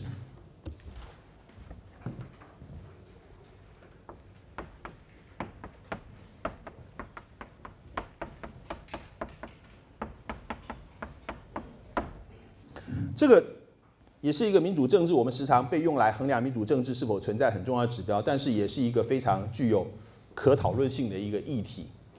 基本上，我们所说的代议民主，我们民主政治的运作必须靠代是代议代议民主，也就是说，人民好，如同课本我们所看到的，那么这个 in representative democracies 好，voters elect representative to act as legislator，那么人民选出代议士啊去立法啊，并且呢，这个呃作为他们的一个利益表达的一个声音哈，他们的共同利益呀。为他们共同利益来发声，来保护他的这个他的这个 general interest，好，protect their general interest。所以一个代议士，一个民意代表，就人民选出他们出来，来发言，来这个为他们的共同利益来争取，来保护他们的利益。但是在民主的实践过程里面，我们知道，终究这些民意代表，他们通常只是为了。特定的选区，为了特定的选民，甚至为了特定的利益而服务的。所以呢，自古以来，这一直是一个争议性的话题，尤其是我们所做说的国会议员、国家层次，我们所说选出来的代议士，就是说这个民意代表本身，他究竟是为了要代表公共的利益，为了公共的福祉而发言，还是只是为了他自己选区的利益？为他选区的福祉而发言，而他在国会的表现，他终究是要听他选区的选民的意见来行使他的投票权，还是说他必须本诸他是一个良知良能，啊，本诸他的一个专业的代议士，或者是说他能够看全局的状态来做一些选择。所以这就是代议士本身的角色的一种认知跟辩论。其实我们说过，两三百年来这个问题其实没有一个标准答案，一直都在争论中。这当当然牵涉到一个两种主要的一种说法。好，一个就是我们看各位看一下，呃，课本一百零一页最后一行所说的 mandate，好，跟另外的 trustee 这两种的这个概念，我们基本上把它翻译成一个叫做托付说，一个叫委任说。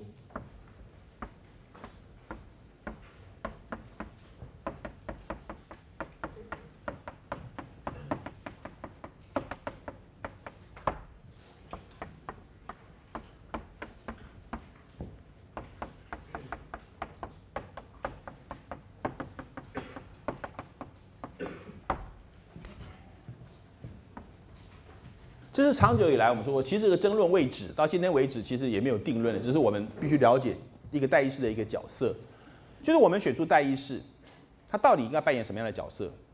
好，我们在政治学理论里面，我们两个两种说法，一个叫 mandate theory，好，所谓的托付说，什么叫托付说？就是你是我们选出来的嘛，你当然要要代表我们多数的声音嘛，对不对？也如同各位看到一百零二页，一百零二页的第一行。好，这是所谓的 mandate，好，托付说的一个基本的一种论述。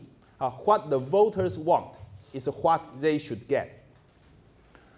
民众啊，希望什么东西，他们希望得到什么，然后你这个代议士必须为他争取什么东西。换言之呢，这个代议士本身，他应该就是针对他的选区，针对他选他出来这群人的多数利益而去奋战。好，我的选民希望我说什么，我就说什么。我的选民希望我支持什么，我就支持什么，我就为他们争取他们的东西。这是一种代议士的角色的一种认知，好，我们称为叫做托付说。第二种我们称为 trustee，好，就是所谓的我们这边当然这两种翻译方式，台湾有各式各样不同的翻译方式啊。这是我个人我我把它翻译成托付跟委任。另外一种就是委任，就是人民人民哎，我们选代议士认为这个人不错。这个人很有能力，这个人能够为我们的这个争取这些东西，我们信任他的品德，信任他的能力，所以我们选他出来，他做我们的代表，然后去国会里面来成为一个立法委员。他所关切的还是应该来横珠整个的形式，好，作为一个我们委托他来，我们可能只是对一些大的方向表示一些我们的看法，但是基本上我们会信任他，我们授权他去成为一个很好的一个一个谁民意代表。而不是说样样都要取诸我们这个多数的民意，我们好像是我们的掌上的木偶一样，我们希望他怎么样就怎么样，只是我们委任他，让他去行使职权。那当然，这个议员有相当的、相当大的空间，可以本住他自己的认知，因为他一般民意代表民一般民意可能对于很多的资讯获得不是那么多，对不对？也没有那么多时间去关切这些事情。而议员是专业的立委啊，专业的委员，他每天很多时间接触大量的资讯，他然后每天很多的时间接触到很多重要的一些政策，然后以他的。专业以他的经验来做出他的判断，好，这是我们来托付让他成为我们的代表的一个重要的因素。那么这是所谓的这个呃所谓的托付跟委任的差异。当然，一个民意代表到底是要做什么样的角色？那么当然有人会说这跟选举制度的设计有关。好，比如说比例代表制，选出来的国会议员可能是比较成为一个 trustee 的可能性。然后呢，像我们单一选区制选择立法委员，那大大概选区服务变得非常重要啊，比过去的大选区更重要。那往往他可能都必须要来按照选区多数的民意来争取选区的福祉为目标，所以这可能会牵涉到选举制度的设计呢，也会有一些关联性。那么，但是呢，很多的学者在这方面也提出他们一些不同的一些呃看法。好，第一个呢。比如说各课，我记得课本这边也有提到。好，各位看一下一百零二页的大概数下来第八、第九行那边，我们这边提到一个叫熊彼得，好，Joseph 熊彼得。那么熊 Peter 他就比较不赞成所谓的托付说的这个呃观点。那么熊彼得呢，他就会认为说。因为呢，主张这种所谓的伪这个所谓的这个托付说的一些这个主要的论点的所在地是集中在一个命题上。这个命题就是说，民众对于每个议案其实都有非常明确的偏好或者说意见，对不对？这个议案其实民众多数是认为他的选区民众认为应该是这样子，所以你就必须按照他们多数民意来做。那个案子啊，选区民众是这样子这样，所以你要必须怎么做，对不对？在这个啊这个什么这个呃呃某一个这个很多的一很多的政策上，民众其实都有非常明确而理性的一些偏好跟意见的，所以他们的民意代表就必须依照他们的偏好跟意见来监督政府，是不是他的所作所为是符合他的选区的民意的？可是小米的怀疑说这是不可能的。其实大部分的民众不见得对于所有的议题都有很明确的资讯，然后会有非常明确的一些偏好跟意见的。所以呢，这就我们要选出代议士嘛。民众不可能一天到晚关心这些事情嘛。我们现在选出来你，你就要有这个能力来做这些事情。所以当然就像我们刚才所说的，民众可能对于一些大的方向，可能会有一些偏好跟意见。可是对于如何的执行或者说细节方面的话，其实民众不见得对样样的政策都会有很明确的意见。这时候就是我们需要代议士存在的时候。如果你每一个政策、每个意见、民众的偏好都很清楚的话，然后代议士只是反映他的偏好，那我们要他干嘛？他就纯粹只是一个傀儡而已啊！所以，但是事实上，像熊米德他们这些人认为说那是不可能的事情。民众其实对大部分事情并没有太偏好、太明确的偏好，甚至也不太了解他的政策背景的一些意见，甚至像现在一些专业的技术的话，对什么什么这个环环境污染的一些这个测量的一些指数的高低呀。那么，甚至像合适的相关的议题呀等等，那么其实就是应该训练，呃，就是应该要信任这些所谓的被我们所委托的人，他们来就更多的一些资讯获得的情况之下来做出好一种这个这个这个立法的这样子一个一个过程。好，这是第一第一点。好，就是他们认为说民众不见得都很清楚。啊，比如说现在谈到了像是二代鉴宝。可能到了今天还大家搞不清楚二代鉴宝跟一代鉴宝的差别到底在哪里啊？只是知道我们可能要多缴一些鉴宝费了，其他细节可能就搞不清楚。可是他们之间的差异性，当时方案的选择，不见得每每个民众都很清楚。他们之间的差异性，他们优利弊得失，这个时候就是立立法委员好这些民意代表他们应该做的事情。好，这是一个所谓对于所谓的托付说的一种一种反驳。那那另外一种意见就是说。其实很多民众的意见，他可能，我我想可能各位以前还记得吧？我们上一集有谈过一个叫做投票的矛盾。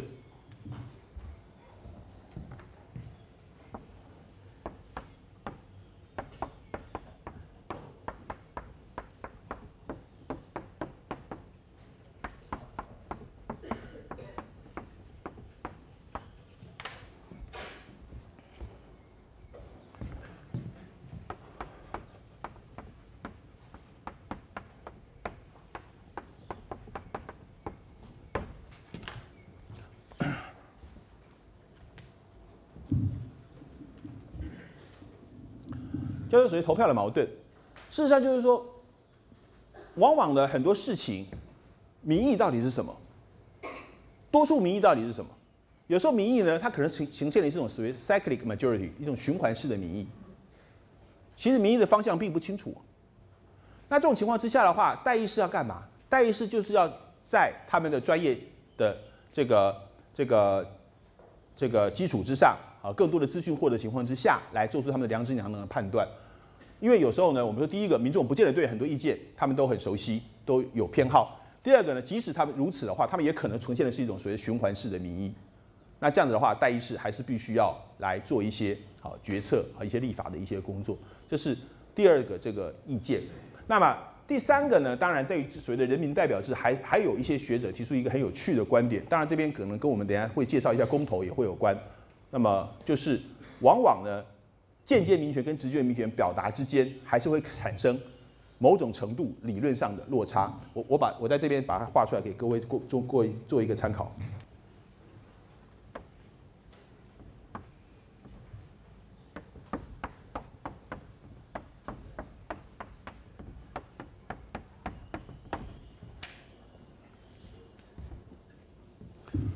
我记得我这个上学期好像有说过。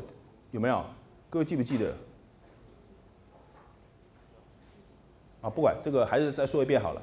那么我们刚才说过，对于这个所谓的人民是不是能够代表，或者说这个民民意代表是不是真能够代表民民众的这种声音？好，其实会有很多不同的论述了。我们刚才所说，从熊彼得的观点，好，民众不见得对样样都表都有意见。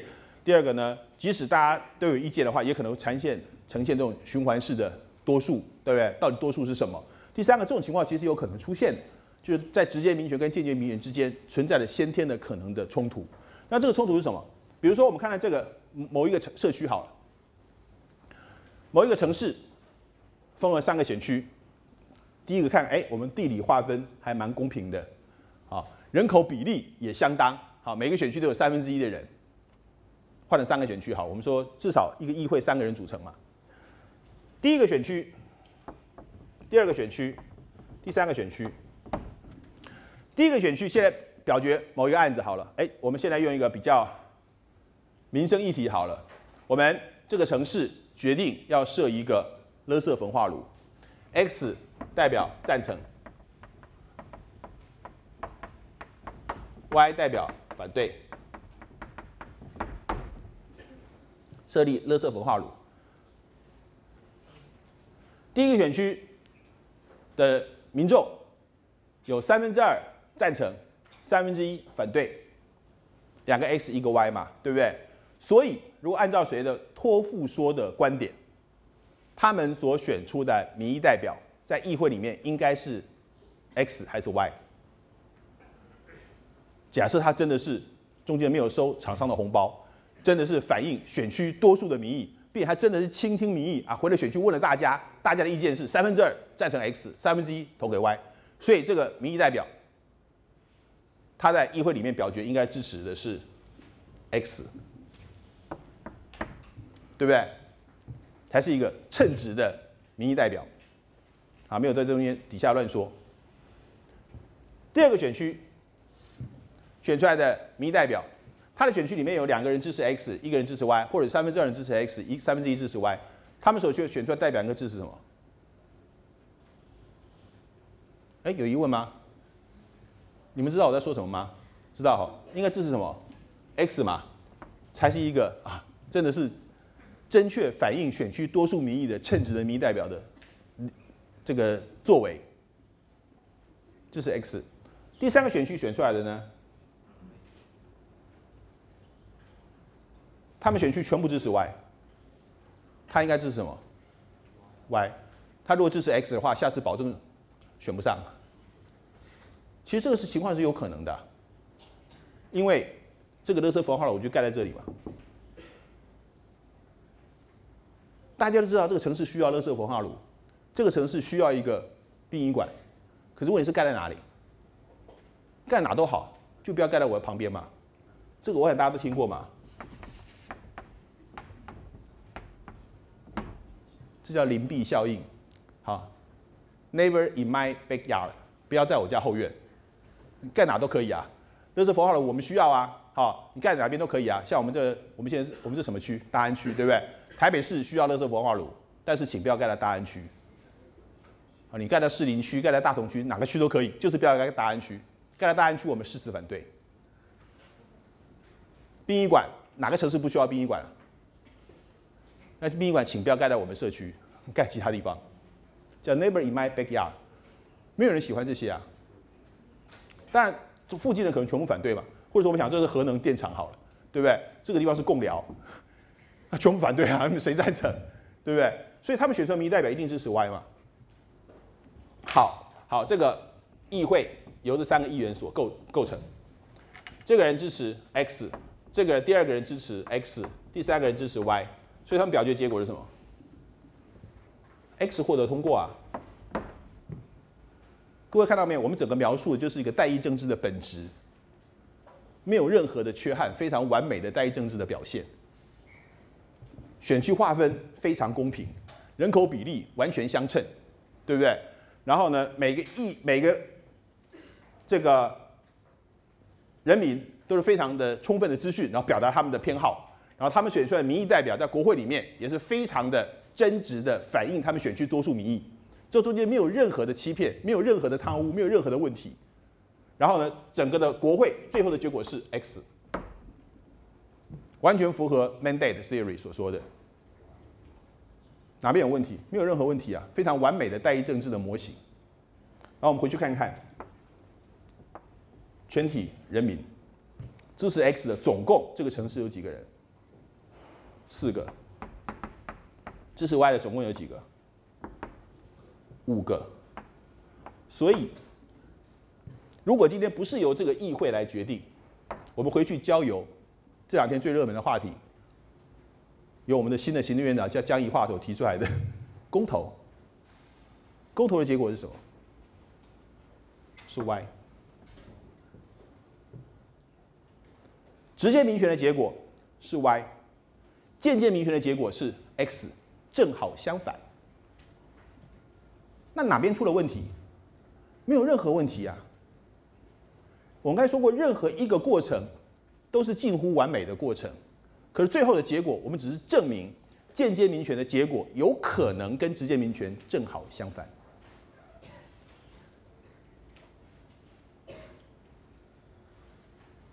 所以，我们时常说公投为什么必要？当然必要啊！我们时常说叫以计代议政治之穷。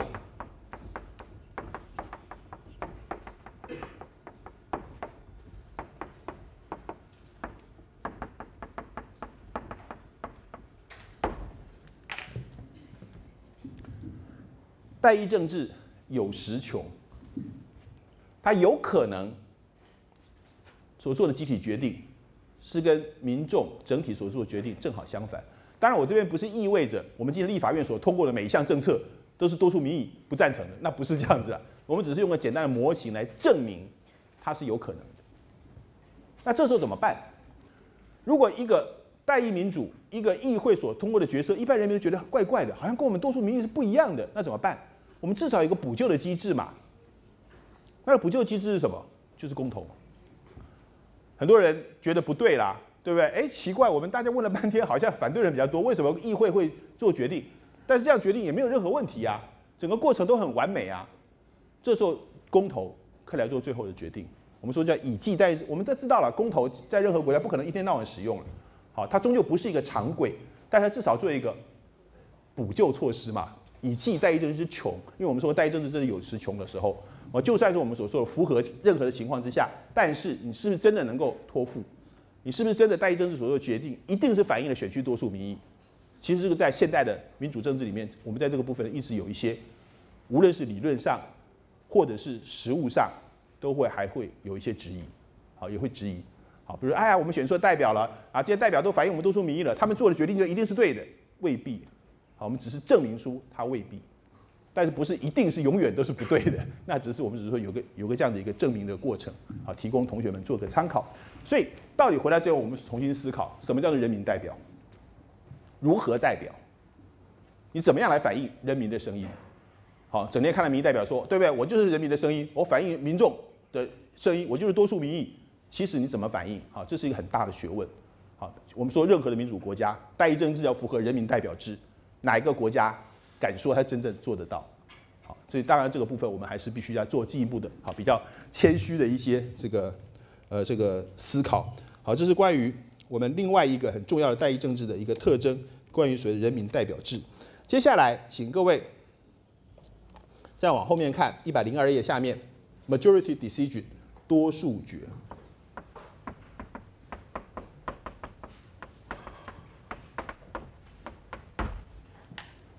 任何的民主政治，任何的代议政治，你不要说代议政治了，包含直接民权都一样。一个民主国家，我们不可能在很多重大的议案上，尤其在一个多元的一个社会里面，要求每个人都是一件意见都一致的。好，就算说现在最近最近几年很风行的审议式民主，大家审议了半天，最后民大家的意见也未必都能够完全一致嘛，对不对？那当大家意见不一致的时候怎么办？最好大家都一致嘛。所以当然有一些民主理论希望最后的决定都是有能力媒体都是全体一致，但是那个成本非常大，对不对？决策成本非常高，并且几乎是不可能的事情。所以说，当全体一致是最大的一个梦想、一个理想的时候，但是求之不得。在一个多元的社会里面，我们还是必须要做出集体的决策，那怎么办？所以往往呢，就会要用投票，要，用各种方式。而这种投票各各种方式的过程里面的话，往往不可避免的，怎么样才算通过？如果各位注意到报纸这两天重大争议的话题，公投也是在讨论这个问题。多数决是一个原则，大家都很耳熟能详，对吧？这个服从多数，尊重少数。服从多数基本上它是法律层次的，它具有强制性的，你非接受不可。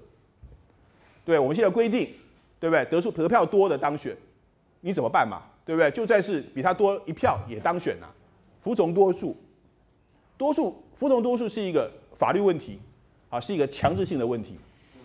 那尊重少数呢？尊重少数不是法律问题，各位有没有思考过？其实尊重少数是一个道德问题。要不要尊重，是看你要不要尊重啊。有些人就是不尊重啊。你服从多数是没办法，你不得不服从。可是尊重少数却是一个道德问题。很少有一个国家用法律来规定你必须尊重少数，那怎么尊重嘛？多数的东西就要做了嘛。而且合适投票，对不对？那不管怎么样，过了或不过了，你就要你就必这是就服要服从啊，就一定要做的。但是在实际过程里面，我们时常说这个 majority 多数，它到底在代表什么含义？其实，在实际运作过程里面，它有非常非常多的一些问题。一般来说，我们举例来说，在议会的表决，它是采取简单多数 （simple majority）。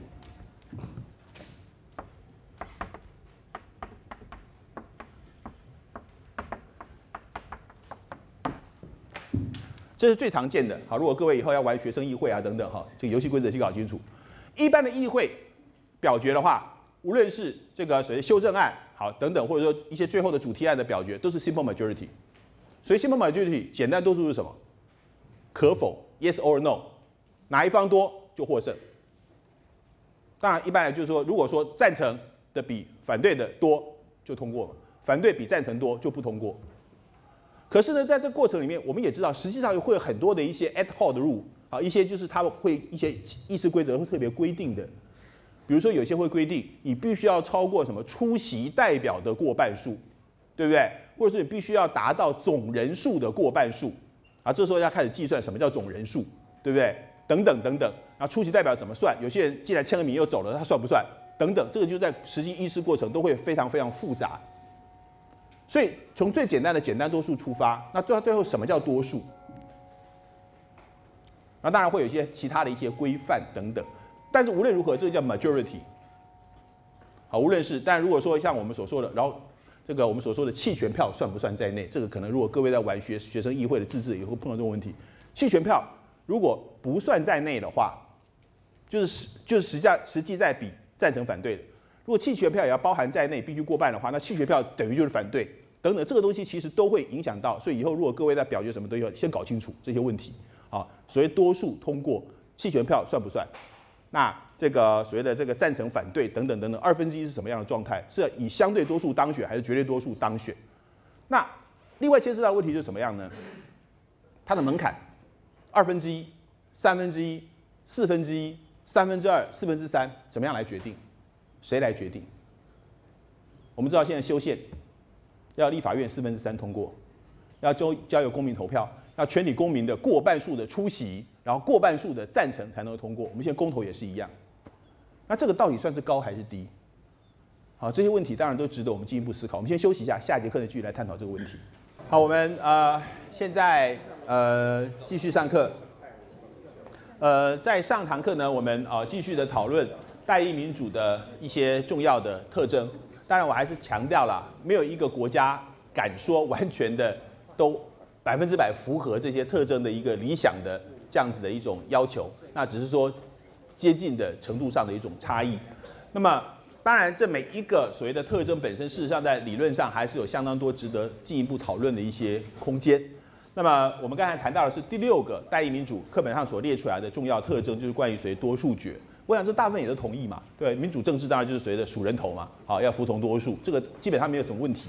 可是，在实际的运作过程，还是很多值得我们必须进一步思考的问题。好。那么我们刚才所说的相对多数还是绝对多数啊？是这个简单多数还是这个要这个超过这个出席人数的过半数还是总额的过半数？其实这个这些规定都可能必须要先弄清楚，尤其要参与一些代议政治的一些表决过程，否则就容易出现很多的一些争议性。好，来计算，因为这个在一般的呃这个民意机关里面表决的话，这些都时常会出问题。我想包含我们的学生议会表决，其实这个东西如果没有规定清楚，也都会时常到时候。大家用议事规则来抗争的一些主要的方式。那么，另外一方面的话，当然也牵涉到说很多的表决，我们有所谓的 majority rule，也有所谓的 minority rule。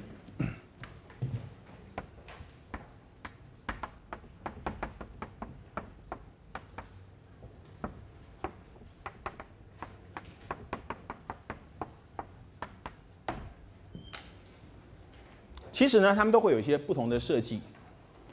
多数决 （majority rule），我们实际上最常见到像议会表决，简单多数啊，或者说像一些重大的案子，像我们等下谈到像公投啊，要要求过半，过半 （majority）。可是呢，在某一些特殊的制定规定之下，会有一些特别的，呃，这个所谓的 special majority rule，特别多数。举例来说，像我们刚才谈到的修宪案。啊，或者说像什么弹劾案这些，对不对？都要求要四分之三、三分之二，这是一个特别的多数，不只是二分之一。那像我们台湾现在修宪的话，要立法院四分之三总额四分之三的通过，通过之后交由公投。那立法院为什么规定四分之三呢？基本上这种特别多数决，它是以要怎么样？是以维持现状为前提的，他不希望变动。我们知道啊，像宪法啊是国家根本大法，他不希望市场改变，所以会定一个比较高的一个这个门槛。当然，宪法也可能牵涉到人民的权利义务关系，所以他尽可能希望大多数的人都能够同意的情况。所以在立法院里面提出宪法修正案的话，他要求四分之三，只要四分之一的人反对，就会不通过。所以呢，这种特别的多数，它是以维持现状。叫 keep the status quo，是以维持现状为目标的。变动是要很困难的的状态。我们说过，因为牵涉到的话，它因为牵涉到人民的这个权利义务关系的话，所以希望大多数的人都能够好能能够支持。所以从某种意义而言，你可以发现，这种四分之三、三分之二的特别多数，基本上呢，它是为了 protect minority，它是为了要。保护少数，它是为了要保护少数，所以呢，少数的人他可以来对抗多数。我只要四分之一，我只要三分之一，我就可以来对抗四分之三、四分二分三分之二的人。他是为了 protect minority，所以特别多数它的目的是为了 protect minority，是为了要 keep the status quo，是为了要保持现状，以保持现状为目标，因为不通过的话就回到现状。这是特别多数的一个目标。当然，所谓的 protect minority 最极致的就是我们所提的 unanimity，就是全体一致，对不对？任何一个人反对就可以封杀所有的案子。所以，那是一个保护少数的措施。在制度上，我们刚才所说，你要服从多数，要尊重少数。可是，在很多制度设计上，他为了要这个少数能够得到保障的话，会用这种方式。但，相对而言，另外一种方式叫 minority rule，少数决原则。它的目的其实也是一样，也是 protect minority。所以你可以发现很多的设计事实上是为了少数，他会做很多的设计。什么叫 minority rule？举例来说，台湾有类似的规定了。我们以美国例子，美国的国会的议事规则规定，这写在宪法里面的。美国宪法的第一条，我忘了第几款规定，国会的表决只要有五分之一以上议员的请求，这一次的表决就必须是。Roll call 就属于唱名投票，只要有五分之一的议员要求，那么表决过程就必须要公开，要唱名投票。就算五分之四的人不希望公布，但是不行，五分之一人可以强迫五分之四的人要听他们的话。这是什么？这就 minority rule，少数可以要求多数服从，对不对？五分之一，像我们刚才所说，台我台湾我记得也是一样，好像是有几个人，台湾用人数的规定的样子。我要详细查一下台湾的那个立法院议事规则。美国的话是写在宪法里面，五分之一议员以上的请求，那么这次的表决就必就必须是唱名表决。就算是多数的过半数人认为不要了，还是过闭密了，但是不行，你就必须公开。所以少数可以要求多数听他们的话，这就是 minority rule。可是 minority rule 我们说过目的是什么？还是在于 protect minority。好，所以在制度上会有特别的设计，是来保障少数的权益。当然说那就不公平啊，那是另外一种说法。当然这就是在民主政治里面哈一个长古存在的一个辩论。好，那我们回回到比较实务性的，这是纯粹是理论哲学上的一些思考的一些问题了哈。当然，另外的问题就是像我们所说的，那多数决哈，不管是二分之一、三分之一、三分之二、四分之三等等，多数决是不是一定可以为所欲为，可以决定任何事情？尤其在一个代议民主之下，好，比如说拉脱维亚，拉脱维亚，我记得是拉脱维亚，在他们波罗的海三小国独立之后，拉脱维亚呢曾经用公投的方式通过多数决的原则。公投的方式呢，通过取消他们境内所有俄罗斯人的投票权，因为他们觉得他们过去几十年来深受俄罗斯的这个这个侵害，对不对？波罗的海三小国把他们共产统治搞的样子，所以呢，他们境内还有少，就是他们独立之后，境内还是有少数的俄罗斯人嘛，啊，没有回到俄罗斯，还留在拉脱维亚，所以拉脱维亚呢决定投票通过，你们这些俄罗斯人在我们阿拉拉脱维亚境内的全部取消你投票权。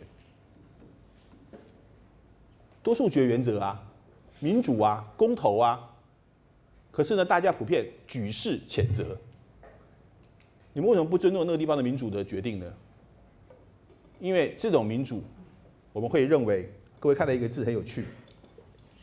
各位看一下一百零二页倒数第五行，叫做 “tyranny of the majority”。我们中文姑且把它翻译成叫“多数暴力”。多数暴力，为什么多数还暴力？因为基本上我们会认为，就算是多数决，它也不应该侵犯到其他的民主原则。如果你用多数决的方式而侵犯到我们所说的基本人权，啊，侵犯了其他权利的话，那么这样子的多数决也不见得代表民主的意涵。所以你可以做多数决，可是多数决也必须符合我们一般人认知的民主的其他的一些重要价值，对不对？你说民权，好，这我们等下也会谈到这个公民的这个普遍的普选权。你你不能用多数决的方式取消的，取消啊，取消他们投票权啊，啊，就算是这是多数决通过的，但是大家也不认为那是个民主的一种表现，好，所以不是说多数决就可以为所欲为，多数决可以决定任何事情，而是说你是不是侵犯到其他的一些重要的一些人的一些价值或民主的一些价值，好，那么说台湾也是一样啊，那不能说哎，全台湾人全部来公投啊，取消原住民的投票权，这叫不叫民主？民主原住民那么少嘛，百分之二吧，对，干脆把投票权取消算了。可是这个绝对绝对不是一个民主嘛，好，所以当然这个部分我们必须要特别的这个这个注意。那么另外一个呢，像呃最近比较争议性的话题，我想我们还是跟一些实务性的事情跟大家做一些这个讨论。比如说，我想这两天 由这个江宜桦院长在立法院公开宣称，未来的核四不排除公投，并且国民党目前的做法是说三月可能要提案，可能在八月以前要举办公投，好，公投跟大选脱钩。那这个对于很多人而言的话，这个一直希望龙出现，龙真的出现了，很多人反而害怕了。我们叫做社工号龙或夜工好龙，对不对？可是这中间有一个很大的争议问题，至少有三点。第一个就是我们刚才所最近报纸上讨论到的，因为大家普遍认为目前存在的公投法门槛太高。你说现在公投，所以现在普遍的反核人士认为不可能过嘛？那不可能过公投的结果，反而给国民党政府一个非常具有正当性的理由，继续建核四，因为公投没过嘛，我给你们表达机会没过，那之后我们继续建。所以呢，他们认为说你要公投可以，要先修公投法的门槛。那目前我们全国性的公投法门槛是多少？就像我们刚才所说的，好，立法院提案之后呢，必须要全台湾有投票权的民众过半数的出席，然后出席投票者过半数的通过，才能够算通过。其他都叫反对。以台湾来说的话，目前如果说一千九百万的合格选民，台湾现在大概两千三百多万的民众具有投票权，大概一千九百万，要必须要大概九百万以上的选民投票，那投票里面可能要四五百万人的投票的赞成，啊才能够停建合适。假设我们停建的案子就是说你是否赞成停建合适，这样这样子好了，必须这样的情况，那。台湾目前已经举办过六次公投了，我们也知道全国性的公投，按照这个规定的话，过去六次公投没有一次通过。那没有通过的理由主要是什么？就是因为没有达到投票门槛，就是第一关。比如说我们台湾曾经举办什么，你是否这个什么这个呃要加强国防公投？虽然听起来蛮奇怪的，但是就是什么什么增进国防公投，投票的里面有百分之九十几的赞成啊，谁谁反对啊？对不对？这个增增强国防，没有人会反对啊。所以这投票的里面有，但是问题是总投票人数不到半数。就算是当时六次，我们过去六次的公投榜大选，可是很多人去投的时候，宁愿就是选立法委员、选总统，公投票就是不领，完全不领就不投嘛。所以过去六次的话没有通过的理由，都是因为投票人数不到半数。尽管我们总统大选投票率有八成，可是去投八成去投票的人里面，根本有一半以上的人根本不领公投票。那不领不投等于反对，因为必须要赞成过半数，这是目前台湾公投法的规定。所以目前的反对的理由主要认为说，你要先修公投法。你看看过去六次没有一次过的，这一次也一定不过，对不对？那就得劳民伤财，搞了半天就自打嘴巴就没过。但是呢？这样子的一种制定，也有人啊反对啊。哎，这第一个当初就是两千零四年公投法制定的时候，这是朝野协商的结果啊。朝野都都都认为公投法不能常用啊，门槛太低，一天到晚就公投的话，那台湾就很乱啊。何况以实际来看看，他们他们有认为，你看一个公投案，全国性的公投案一定是很重大的案子嘛。二分之一的出席，出席的过半，二分之一乘以二分之一是多少？四分之一。哎，你们认为这个案子很重要，搞了半天你们连你你们连四分之一的人争取不到，那还有什么好玩的嘛？对不对？如果你们真的有信心的话，你去争取四分之一的支持啊。事实上，四分之一的人可以要求其他四分之三人听你们的话。如果现在连四分之一你们还认为门槛太高，那你到底要怎么样？要降到什么程度？对不对？难道百分之十的人就可以要求百分之九十的人接受你的意见吗？那百分之十，现在四分之一已经不叫做多数了。你们自认你们代表多数，结果你搞了半天，连对百分之二十五都没有信心。所以这是他们的说法，那到底怎么样？到底门槛高还是低？现在二分之一加二分之一到底是高还是低？如果连四分之一都争取不到的话，那你们还还敢宣称你们是多数吗？所以这些说法其实都在辩论中。这第一个问题，到底是怎么样？我们现在门槛到底是高还是低？他们说过去六次的，那过去六次因为是公投保大选，大家胃口尽失嘛，对不对？那什么入联也要公投一下，购买武器也要公投，所以大家还没没兴趣嘛。如果合适真的很重要，大家都觉得切身相关，那么投票率绝对应该是提高的。好，所以他们认为，哎呀，要对自己有信心。我们现在与其讨论的问题，不如来说服民众接受，对不对？我们只要能够说服四二一半以上的选民愿意投，投的人大概多多半都是会赞成的。好，就要说服一半以上选民出席。如果连一半以上选民都不愿意支持的话，那就没什么好玩的。那当然，很多人说你没有绑大选，纯粹八月份就一个公投案子进行公投，大家根本不愿意投啊。啊，台湾民众还没有那么大的所谓的 民主的成熟度，那又反过来，你怀疑台湾民众的民主成熟度，你为什么要让他公投？所以这些东西一直在辩论。好，就是我们这没有标准答案，只是现在这是一个争议性的话题。第一点。第二点呢，就除了我们所说多数决的概念，现在大家讨论讨论不完之后，现在公投还牵涉很多其他的议题啦。第二个议题，其实我们上一次说过，目前行政院提出来的，希望立法院国民党团发动的公投，这绝对是全国性公投。全国性公投的意思是什么？就是全台湾一起来对合适要做投票。这一点很多人有意见，他们的理由是说，当然要全国的哦，因为如果合适废了，可能电价就会上升嘛。当然，就有反对说电价不见得上升了，那另外一个议题。但如果电价上升是全国人民都要共同负担嘛，那当然全国性公投，所以全国人民都要投票。但是有人反对啊，说真正核核在影响到的可能是新北市最严重，像像吕秀莲就主张应该是新北市公投，因为如果现在新北市的公投的话，很可能就可以造成过半数，然后过半过半数人士要主张废核，但是你全台湾一起公投的话就不一定，对，高雄平都说关我什么事？对不对？那可和可是电费涨价，我就不愿意啊。所以这中间就差别了。我们上礼拜谈到，谁可以来投票？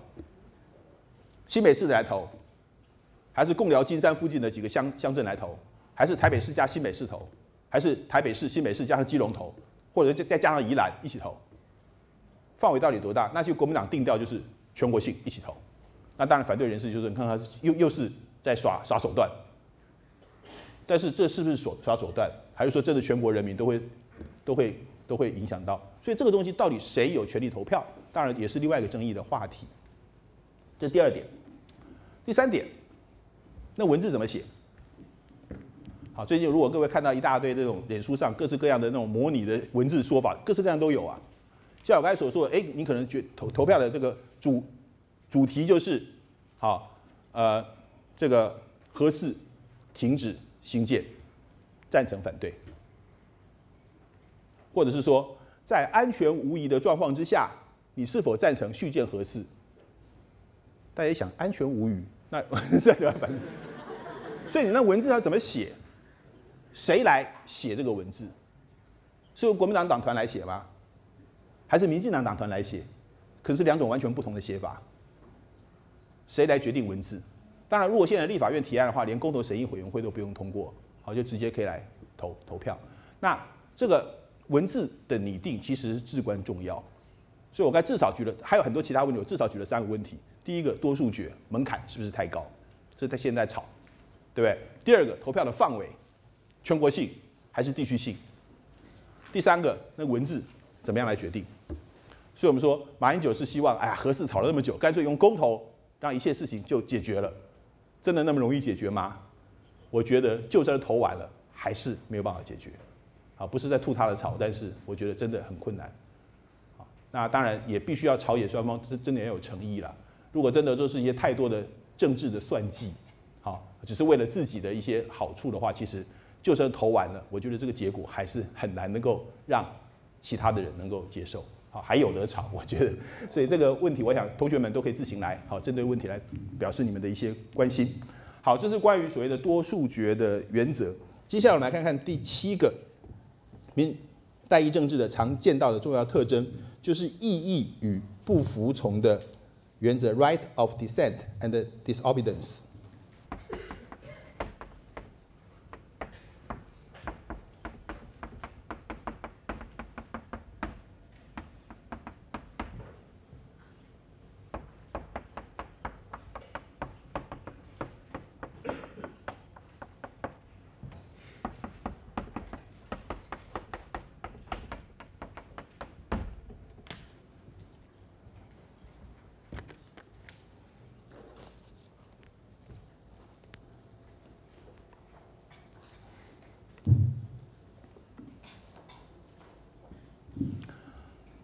这个原则，其实我们也是来看一个民主国家啊，常常会看到的原则。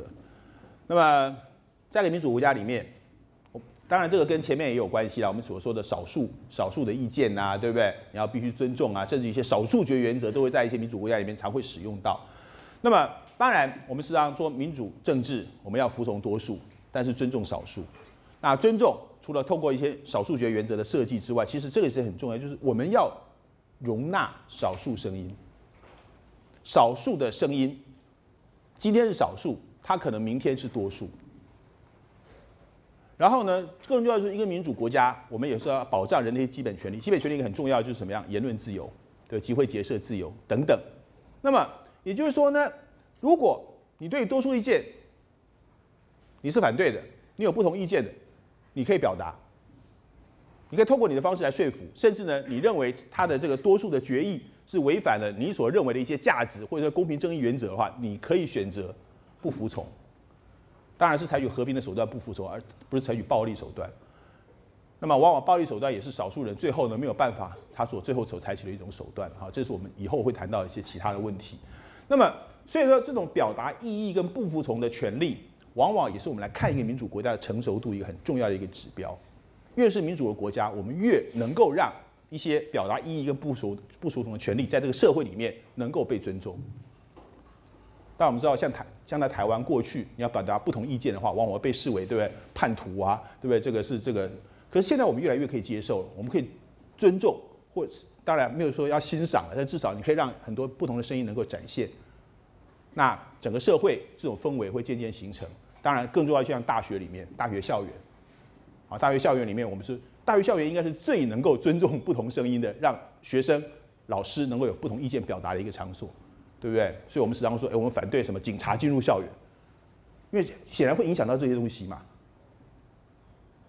所以呢，我们能够让一些声音能够出来，好，彼此之间能够了解他们在想些什么，啊，这是个民主社会一个非常非常重要的一种一种价值。那当然，这个东西也有它的一些理论基础跟实际的一些状态。我们看一下课本上这边所说的。那么，所以课本各位看到一百零二页的最后倒数第三行，这是跟我们刚才所说的少数权利是有关的。民众呢必须有来抗拒这个政府好的一些政策。如果少数人认为他他是错的，啊他是不对的，那么他必须有这样的权利来抗拒。当然，最早提出这个东西的是一七七六年的 Thomas Jefferson，我们以前说过嘛，杰弗逊的独立宣言里里面提出来的。好，当然这是这个呃最早是源自于洛克的，好洛克的一些理论，对不对？如果说政府的所作所为是民众不能够接受的，人民有权利推翻它嘛？对，政府好就是根据所谓的这个我们所说的这个呃契约论，对不对？政府的权利是我们给的，但是你政府不能够为人民谋福利，反而侵犯我们的权利的话，我们有权利推翻你。好，这是洛克的从洛克到杰弗逊所说的人民的推翻政府的这个所谓天赋人权的这种说法。当然，那么再进一步的演化而来的话，像是各位看到一百零三页，好这边谈到的，那么这个像是甘地，好甘地那时候所领导的这种所谓静坐、好不服从的运动。那么来抵抗日英国殖民政府的在印度的不公义的一些行为，最后呢，真的争取到了印度能够脱离这个英国而独立。那么甘地的这种不合作运动的话，就被视为是一个我们所说的这种表达意义跟不服从权利的一种哈一一一种这个展现。而另外比较重要的一个这个人物呢，好就是美国十九世纪的一个很重要的一位思想家，叫做。梭罗。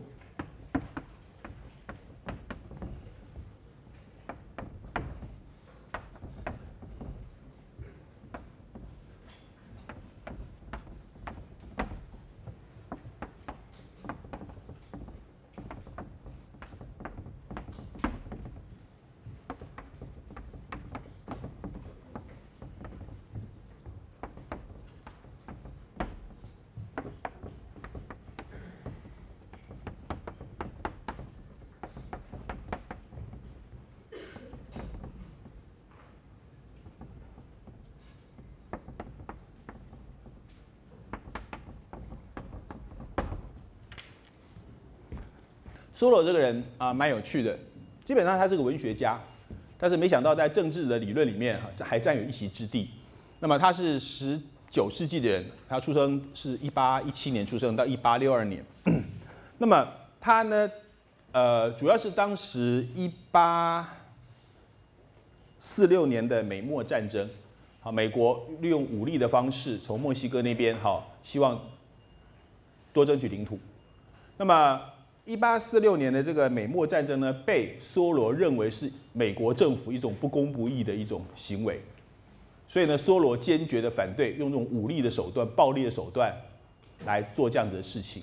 所以呢，梭罗个人认为他坚持反对美墨战争，然后他也不愿意向这个他所认为不公不义的政府纳税，或在这个政府的生活之下，在这个政府的这个这个这个这个管辖之下生活。所以后来他就一个人跑去了。一个湖边居住，好叫瓦瓦尔登湖，就 Warton，好这个，然后呢，他他一个人那边一住就住了两年，然后呢，他也把他在住了两年，就是过了一像野人般的生活，然后这个呃自力更生。后来他把他两年的经验呢写了一本书，好就在一八五四年出版，叫 Warton。那 Warton 的话，那么有人翻译成叫瓦尔登湖，那我们台湾比较流行的翻译翻成叫做。湖滨散记，好，湖滨散记。那么也因为他当时是采采取非常自然的方式，好，这个在那边生活两年，所以呢，很多人也把他视为是环保运动的先驱。好，Anyway，他从这个环保主义啊，从这个所谓的这个当时他所谓反，他主要是反对美国当时的这种他认为不公义的行为啦。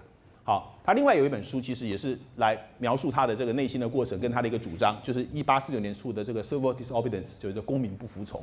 当然，这个名词后来也是广为人所使用。好，就是那么人们认为政府真的所作所为是不公义的话，他们有这个反抗的权利。好，这样子。那么，所以呢，他也成为我们所说的在政治思想里面一个非常重要的一一位人物。但是他当然他是一个其实是一个散文家。从这个角度而言的话，这个。《湖滨散记》是一个非常著名的哈一一一这个一一个这个这个作品。那么，所以说，像从梭罗到这个呃甘地啊，当然最早是从这个洛克跟这个呃这个杰弗逊的这个契约论的观点一路下来。那么后来当然比较重大的实践，就是一九六零年代美国的马丁路德金恩博士所推动的一些民权运动啊等等。好，那么。就是说，为了这个所谓的这个，他们有这个表达意义，那或者是所谓的这个啊公民不服从的这样子的一种权利啊。当然，这样子的东西，其实在一个比较这个所谓的民主国家里面的话，我们还是好应该能够有这样的空间，能够容忍许多的意不同意见的一些这个呃表达。那当然，如果说在一般的威权国家的话，这些权利的行使将会受到非常非常大的一些这个呃限制。好，那接下来呢？我们看到的是一百零三页的部分，我们讨论到的下一个代议民主的特征就是，其实这个说起来也非常非常长，不过我想我们没有太多时间讨论，叫做政治平等。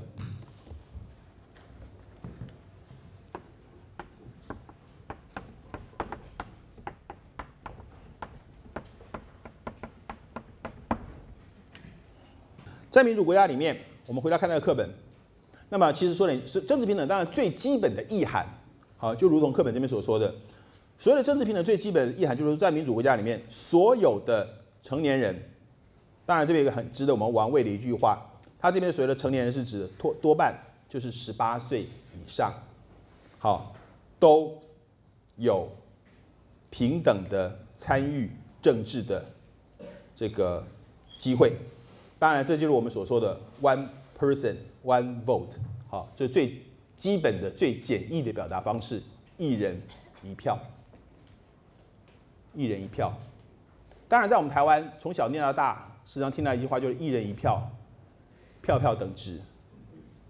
可是，一人一票是不是真的票票等值？好，其实中间有非常大的学问，我们等下会稍微加以说明。但是，基本上我们所说的政治平等，最基本、最基本的一个定义。就是指的我们所说的普遍选权原则，叫做 universal suffrage。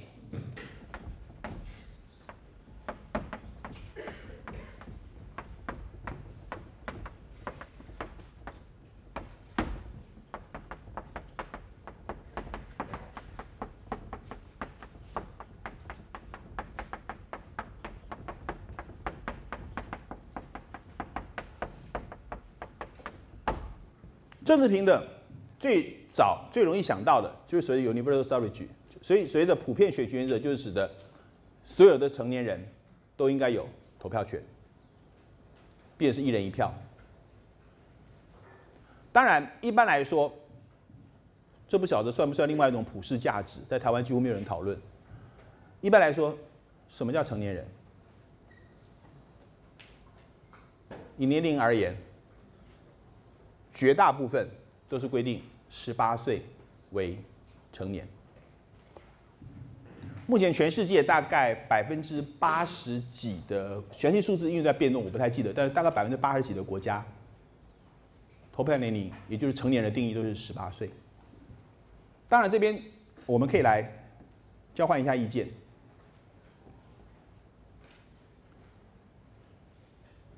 台湾目前怎么样定义什么叫成年？投票年龄是几岁？二十。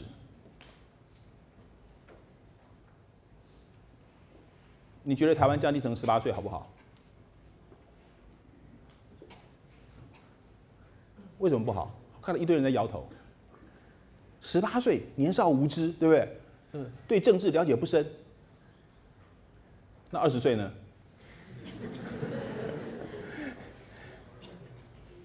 这很有趣。不然就说，哎呀，十八岁那是人家民民主先进国家嘛，我们台湾民主还这个刚刚起步嘛，对不对？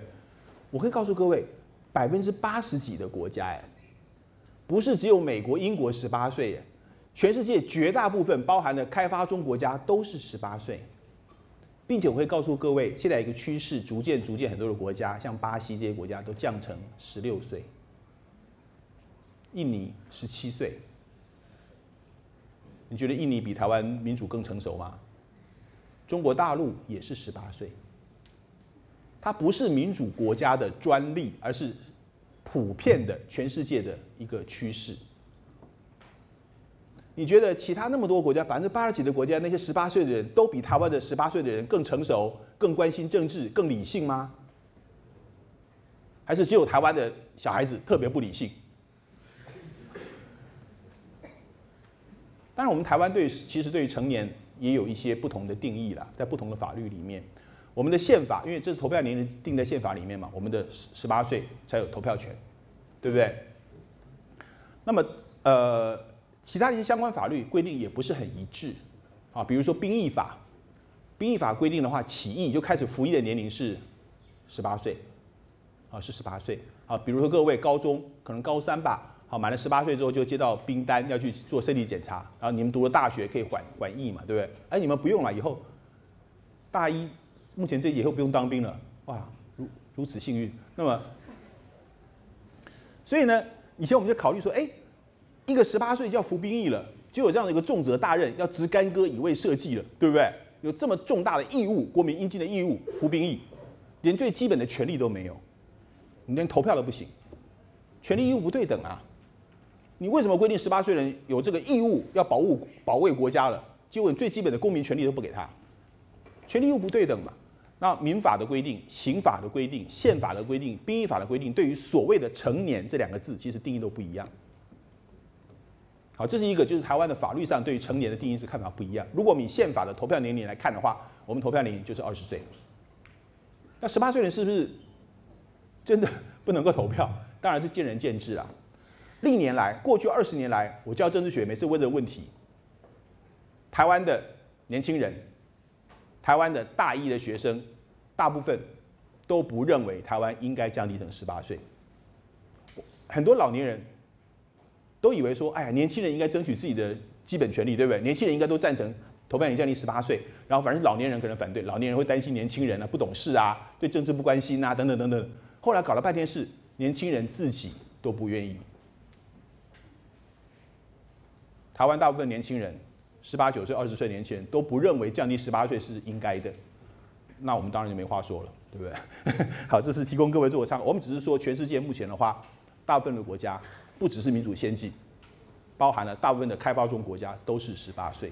那当然，我自己的看法是，以台湾目前的民主发展的程度，以台湾的教育水准，以台湾的通讯资讯的发达等等各方面的条件而言的话，我们绝对是有资格把投票年龄降低到十八岁的，好让十八岁的人，当他已经要为国家尽某些义务的同时，也应该享有最基本的权利。好，权利义务应该是相等，但是这一点似乎在台湾并没有得到太多人的支持啊，这是我们的一个观点。好，这是关于所谓的普遍选权，但是所谓的政治平等，就是指的每一个人好要有基本的权利来参与这个。这个这个政治，但是事实上我们知道，我们上刚才所提到的 one person one vote，一人一票，但是是不是真的每下投票这一票真的是平等，达到政治平等？当然这中间有非常多的政治学值得思考的问题。第一个值得思考的问题就是我们刚才第一堂课所谈到的 gerrymandering，竭力容源。竭力容源的结果呢，会让怎么样？让很多人表面上你就是投一票嘛，我没有剥夺你投票权啊。可是你每一票所代表的意义就是不一样，你没有办法得到票票等值啊。所以这是竭力容源的所产生的一些一些效果。当然，我用个更呃这个明显的一个模型，再来给各位看一下所谓政治平等之间的一些一些关联性。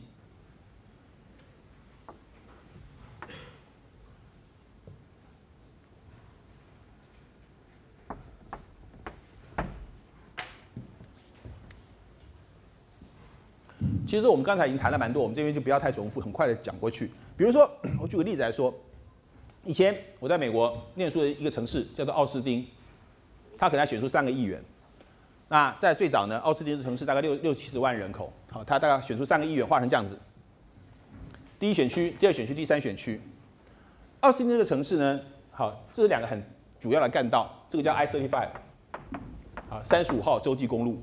三十五号洲际公路呢，是从明尼苏达一直到墨西哥，整个横贯美国，非常重要的高速公路，也经过奥斯汀市。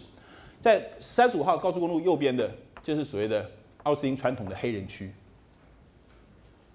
那这边是白人区，白人区。然后这是一个拉马布鲁瓦，好，一个很大的一个一一条一条公路。所以如果说换成三个选区，选三个议员，一般的状况就是白人、白人、黑人。对不对？好，这个人这个城市呢，经过若干年，我们所说人口增加了六七十万，增加到八九十万了。选区划分多一个议员，多一席。请问多一席怎么划？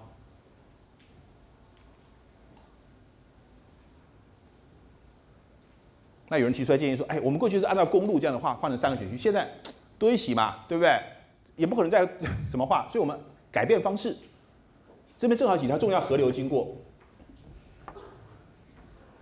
我们按照河流来画好了，变成一二三四，人口相当。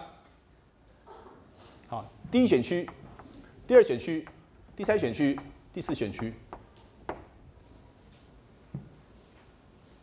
投票结果。大家突然发现，怎么选出来四个都是白人？黑人议员不见了。这符合我们所谓的政治平等吗？One person, one vote 有违反吗？没有啊，黑人投啊，照样投啊，一人一票啊。各位了解意思吗？什么叫政治平等？难道就只有一人一票就叫政治平等吗？那是政治平等最。低的一个定义，像以这个例子来说，黑人的代表性无形中在 gerrymandering 的状况之下就不见了，没有对不对？Universal suffrage 嘛，对不对？普遍选权原则嘛，一人一票嘛，黑人投票权利完全没有受影响，但是黑人代表性无形中就不见了，这是不是叫政治平等？所以我刚才说的一人一票容易。票票等值，谈何容易？当然，这种话这是一个很戏剧化的方式啦。但事实上不可能这样，那黑人要吵死了，他们真的要抗议了，对不对？要采取这个少数的抗议的行为，甚至采取暴力行为了，因为他们代表很不见。也因为如此，请注意，这当然我最谈到另外一个很重要的东西。所以呢，在美国，一九六五年通过一个法律。好，其实这个台湾过未来可能都要讨论的问题。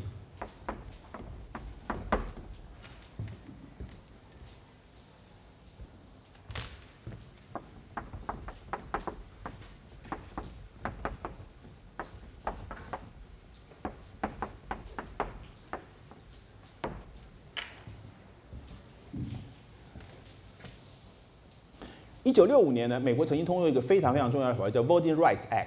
叫投票权利法。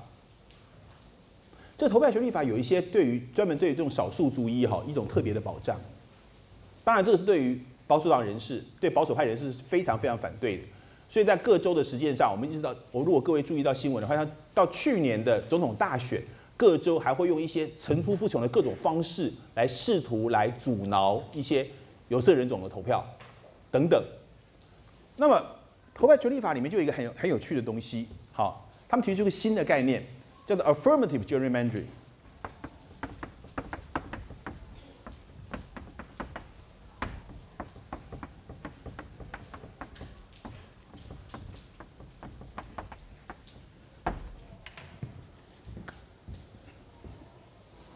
们知道呢，如果各位如果了解一些状况的话，就像我们都时常听到一些 affirmative action，对不对？像美国的话，有一些就是这种啊，为了要这个。平等的一些原则啊，比如说像美国的话，一些 affirmative action 就比如说你要找人啊，你要征人的话，不能因为他的性别、族群、宗教的关系而这个来做一些歧视的待遇，好这种反歧视的东西。然后再在投票权利法里面有甚至有一种选区划分，还要求 affirmative gerrymandering。我们说 gerrymandering 在过去给我们带给我们往往都是负面的意涵，而 formative gerrymandering 是什么？就是他会如果发现像这种状况，一些少数族裔他们的代表的民意代表的这个比例不足以反映他们的人口比例的话，好，政府必须要采取行动，能够来让他们的人口比例充分的反映在国会里面的席次比例里面。当然不是百分之百完全一样，但是至少要有一些行动来做。所以呢，在美国会产生一些怎么样的状况？最有名的，像是我们看到一个北卡罗来纳州，它有个选区长成这个样子。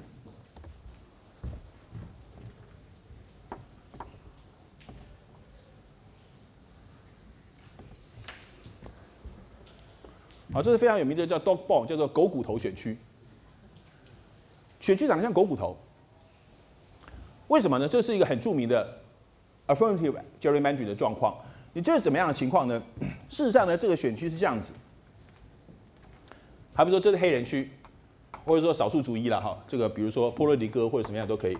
黑人区，他们其实分属是两个不同的城市。好，假设这个城市要选出一个众议员，好，这个城市要选出众议员，其实黑人在这两个选区，在两个城市里面都是少数，他们在这里面永远选不出黑人的代表。所以呢，在选区划分的时候呢，刻意的把这两个分属于两个不同城市的黑人选区中间，假假设这是一条高速公路好了，从沿着高速公路把两个选区结合在一起，刻意的把这两个选区，把这两个分属于两个不同城市的两个黑人选区划成一个选区，而让他们选出来的会产生一名黑人的议员，是这个叫做 affirmative gerrymandering。当然一些。这个像像像美国的共和党就反对嘛，他说你们这样搞的已经走火入魔，搞得太过分了。好，这个这样子的话，有时候考虑太多因素的话，反而变成选区划分奇奇怪怪。所以这个情况，这个随着 affirmative gerrymandering，它在美国从一九六五年之后，反而成为一种比较具有正面意涵的一种选区划分的方式。好，当然台湾我们说过，可能未来也会面临相同的一些状态。好，比如说我们刚才提到像是这个屏东，啊，屏东六堆客家客家人的区域，你要把他们。客家人区域的划成同一个选区，还是把六堆地区，或者说在这个高平、美浓的地区的一些客家人分属不同选区，跟闽南人的多数社区放在一起，那这样子的话，可能客家人的代表就选不出来了，啊，就没有客家人的立法委员。你会发现，呃，台湾讲的客家人百分之十五，在立法院里面，客家人的比例实实在是偏低。你要不要某一些选区，你把，比如说，好，把一些客家人的一些聚聚落，把它划成同一个选区，尽管他们在区域上。不见得是合在一起的，就是一种所谓的 affirmative gerrymandering，或者说台湾哎有有可能外省人的第二代啊，过去的眷村啊很庞大的眷村区，现在可能被割裂成分属不同的选区，所以外省人的代表以后都没有了。台湾立法院里面啊什么什么外省人的比例越来越低啊，不不足以反映他们百分之十几的代表性。那你要把他们的划成同一个选区，类似这种状况。当然现在原住民的话，已经比例已经超过他们比例了，那现在是六名嘛哈，但是那是另外特别的一些考量等等。但是像这种问题的话，都是我们说的跟我们所说的政治平等有关，所以这边只是告诉各位什么叫政治平等，不是说只有一人投下一票就了结了，政治平等就达到了。其实怎么样达到票票等值，怎么样能够让各种不同的次级团体他们的代表性，在这个所谓的代议政治的国会里面能够充分的展现，当然不是完全相等，但是至少能够有一定的一个比例的一个符合性。其实这都是很多国家在思考的问题。当然，像这个问题，affirmative gerrymandering voting rights act 到今一直半个世纪到了今天，美国反对的声音还非常非常大。但是我们只是提出了这样观点，提供各位做个参考。好，政治平等，就算是美国要达到都很困难。好，什么叫政治平等？它是涉涉及到一些非常细微的、非常精致的一种政治制度的设计。好，它不是只是大家投下一票就算。所以这个政治平等的话，其实可以讨论的议题非常非常的多。那当然，在台湾现在，我们也越来越多的对于少数族群的一些关切。那很多东西也牵涉到一些关于政治平等的一些好这个相关的一些这个议题。好，那接下来我们下一个要讨论到的议题呢，就是随着大众资商或者是人民资商原则。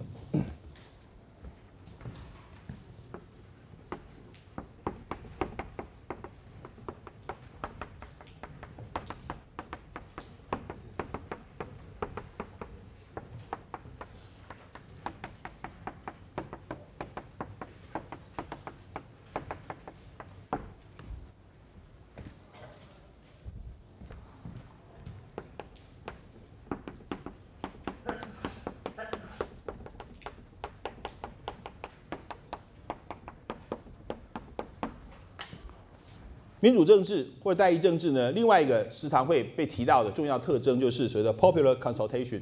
那么 consultation 这个字，其实在我们台湾所使用的比较少，然后也不是那么好翻译，所以我们无论是翻译成人民智商啊、大众智商，好像跟我们一般惯常使用的语言不是那么的契合，所以它的意义比较难了解。其实很简单，所谓的大众咨商，它的意思呢，简单的说，就是政府在做任何决策的时候，它必须要。符合多数民意，好，他任何的决策，他必须要了解到民众对于这个决策的意见，他必须有管道、有方式能够来获知民众对于这个重大决策的意见为何。再一个层次就是，除了他要获知民意对这个重大政策的意见之外，他必须要依照多数的民意来制定政策。这就是所谓的 popular 的 consultation，对，就是人民一般的 popular 嘛，好 population，他要 consult 在这个 decision making 的 process 里面。当然，我们时常说，哎，像我们现在的政府，很多人批评他，可能在大众智商里面表现的是有改进的空间。很多重大的政策在制定之前，好，并不见得能够充分的了解民意，掌握民意对于这个政策的一些意见。就算他从某些管道获知民意，他是不是真的按照多数民意在制定政策？当然，这都是可以有一些讨论的空间。好像江念阁上来之后，他就说：“哎，我们任何重大政策要先做民意调查，甚至要先跟民嘴沟通。”啊，这点倒蛮奇怪的。那么，可是无论如何，就是你必须要获知民意。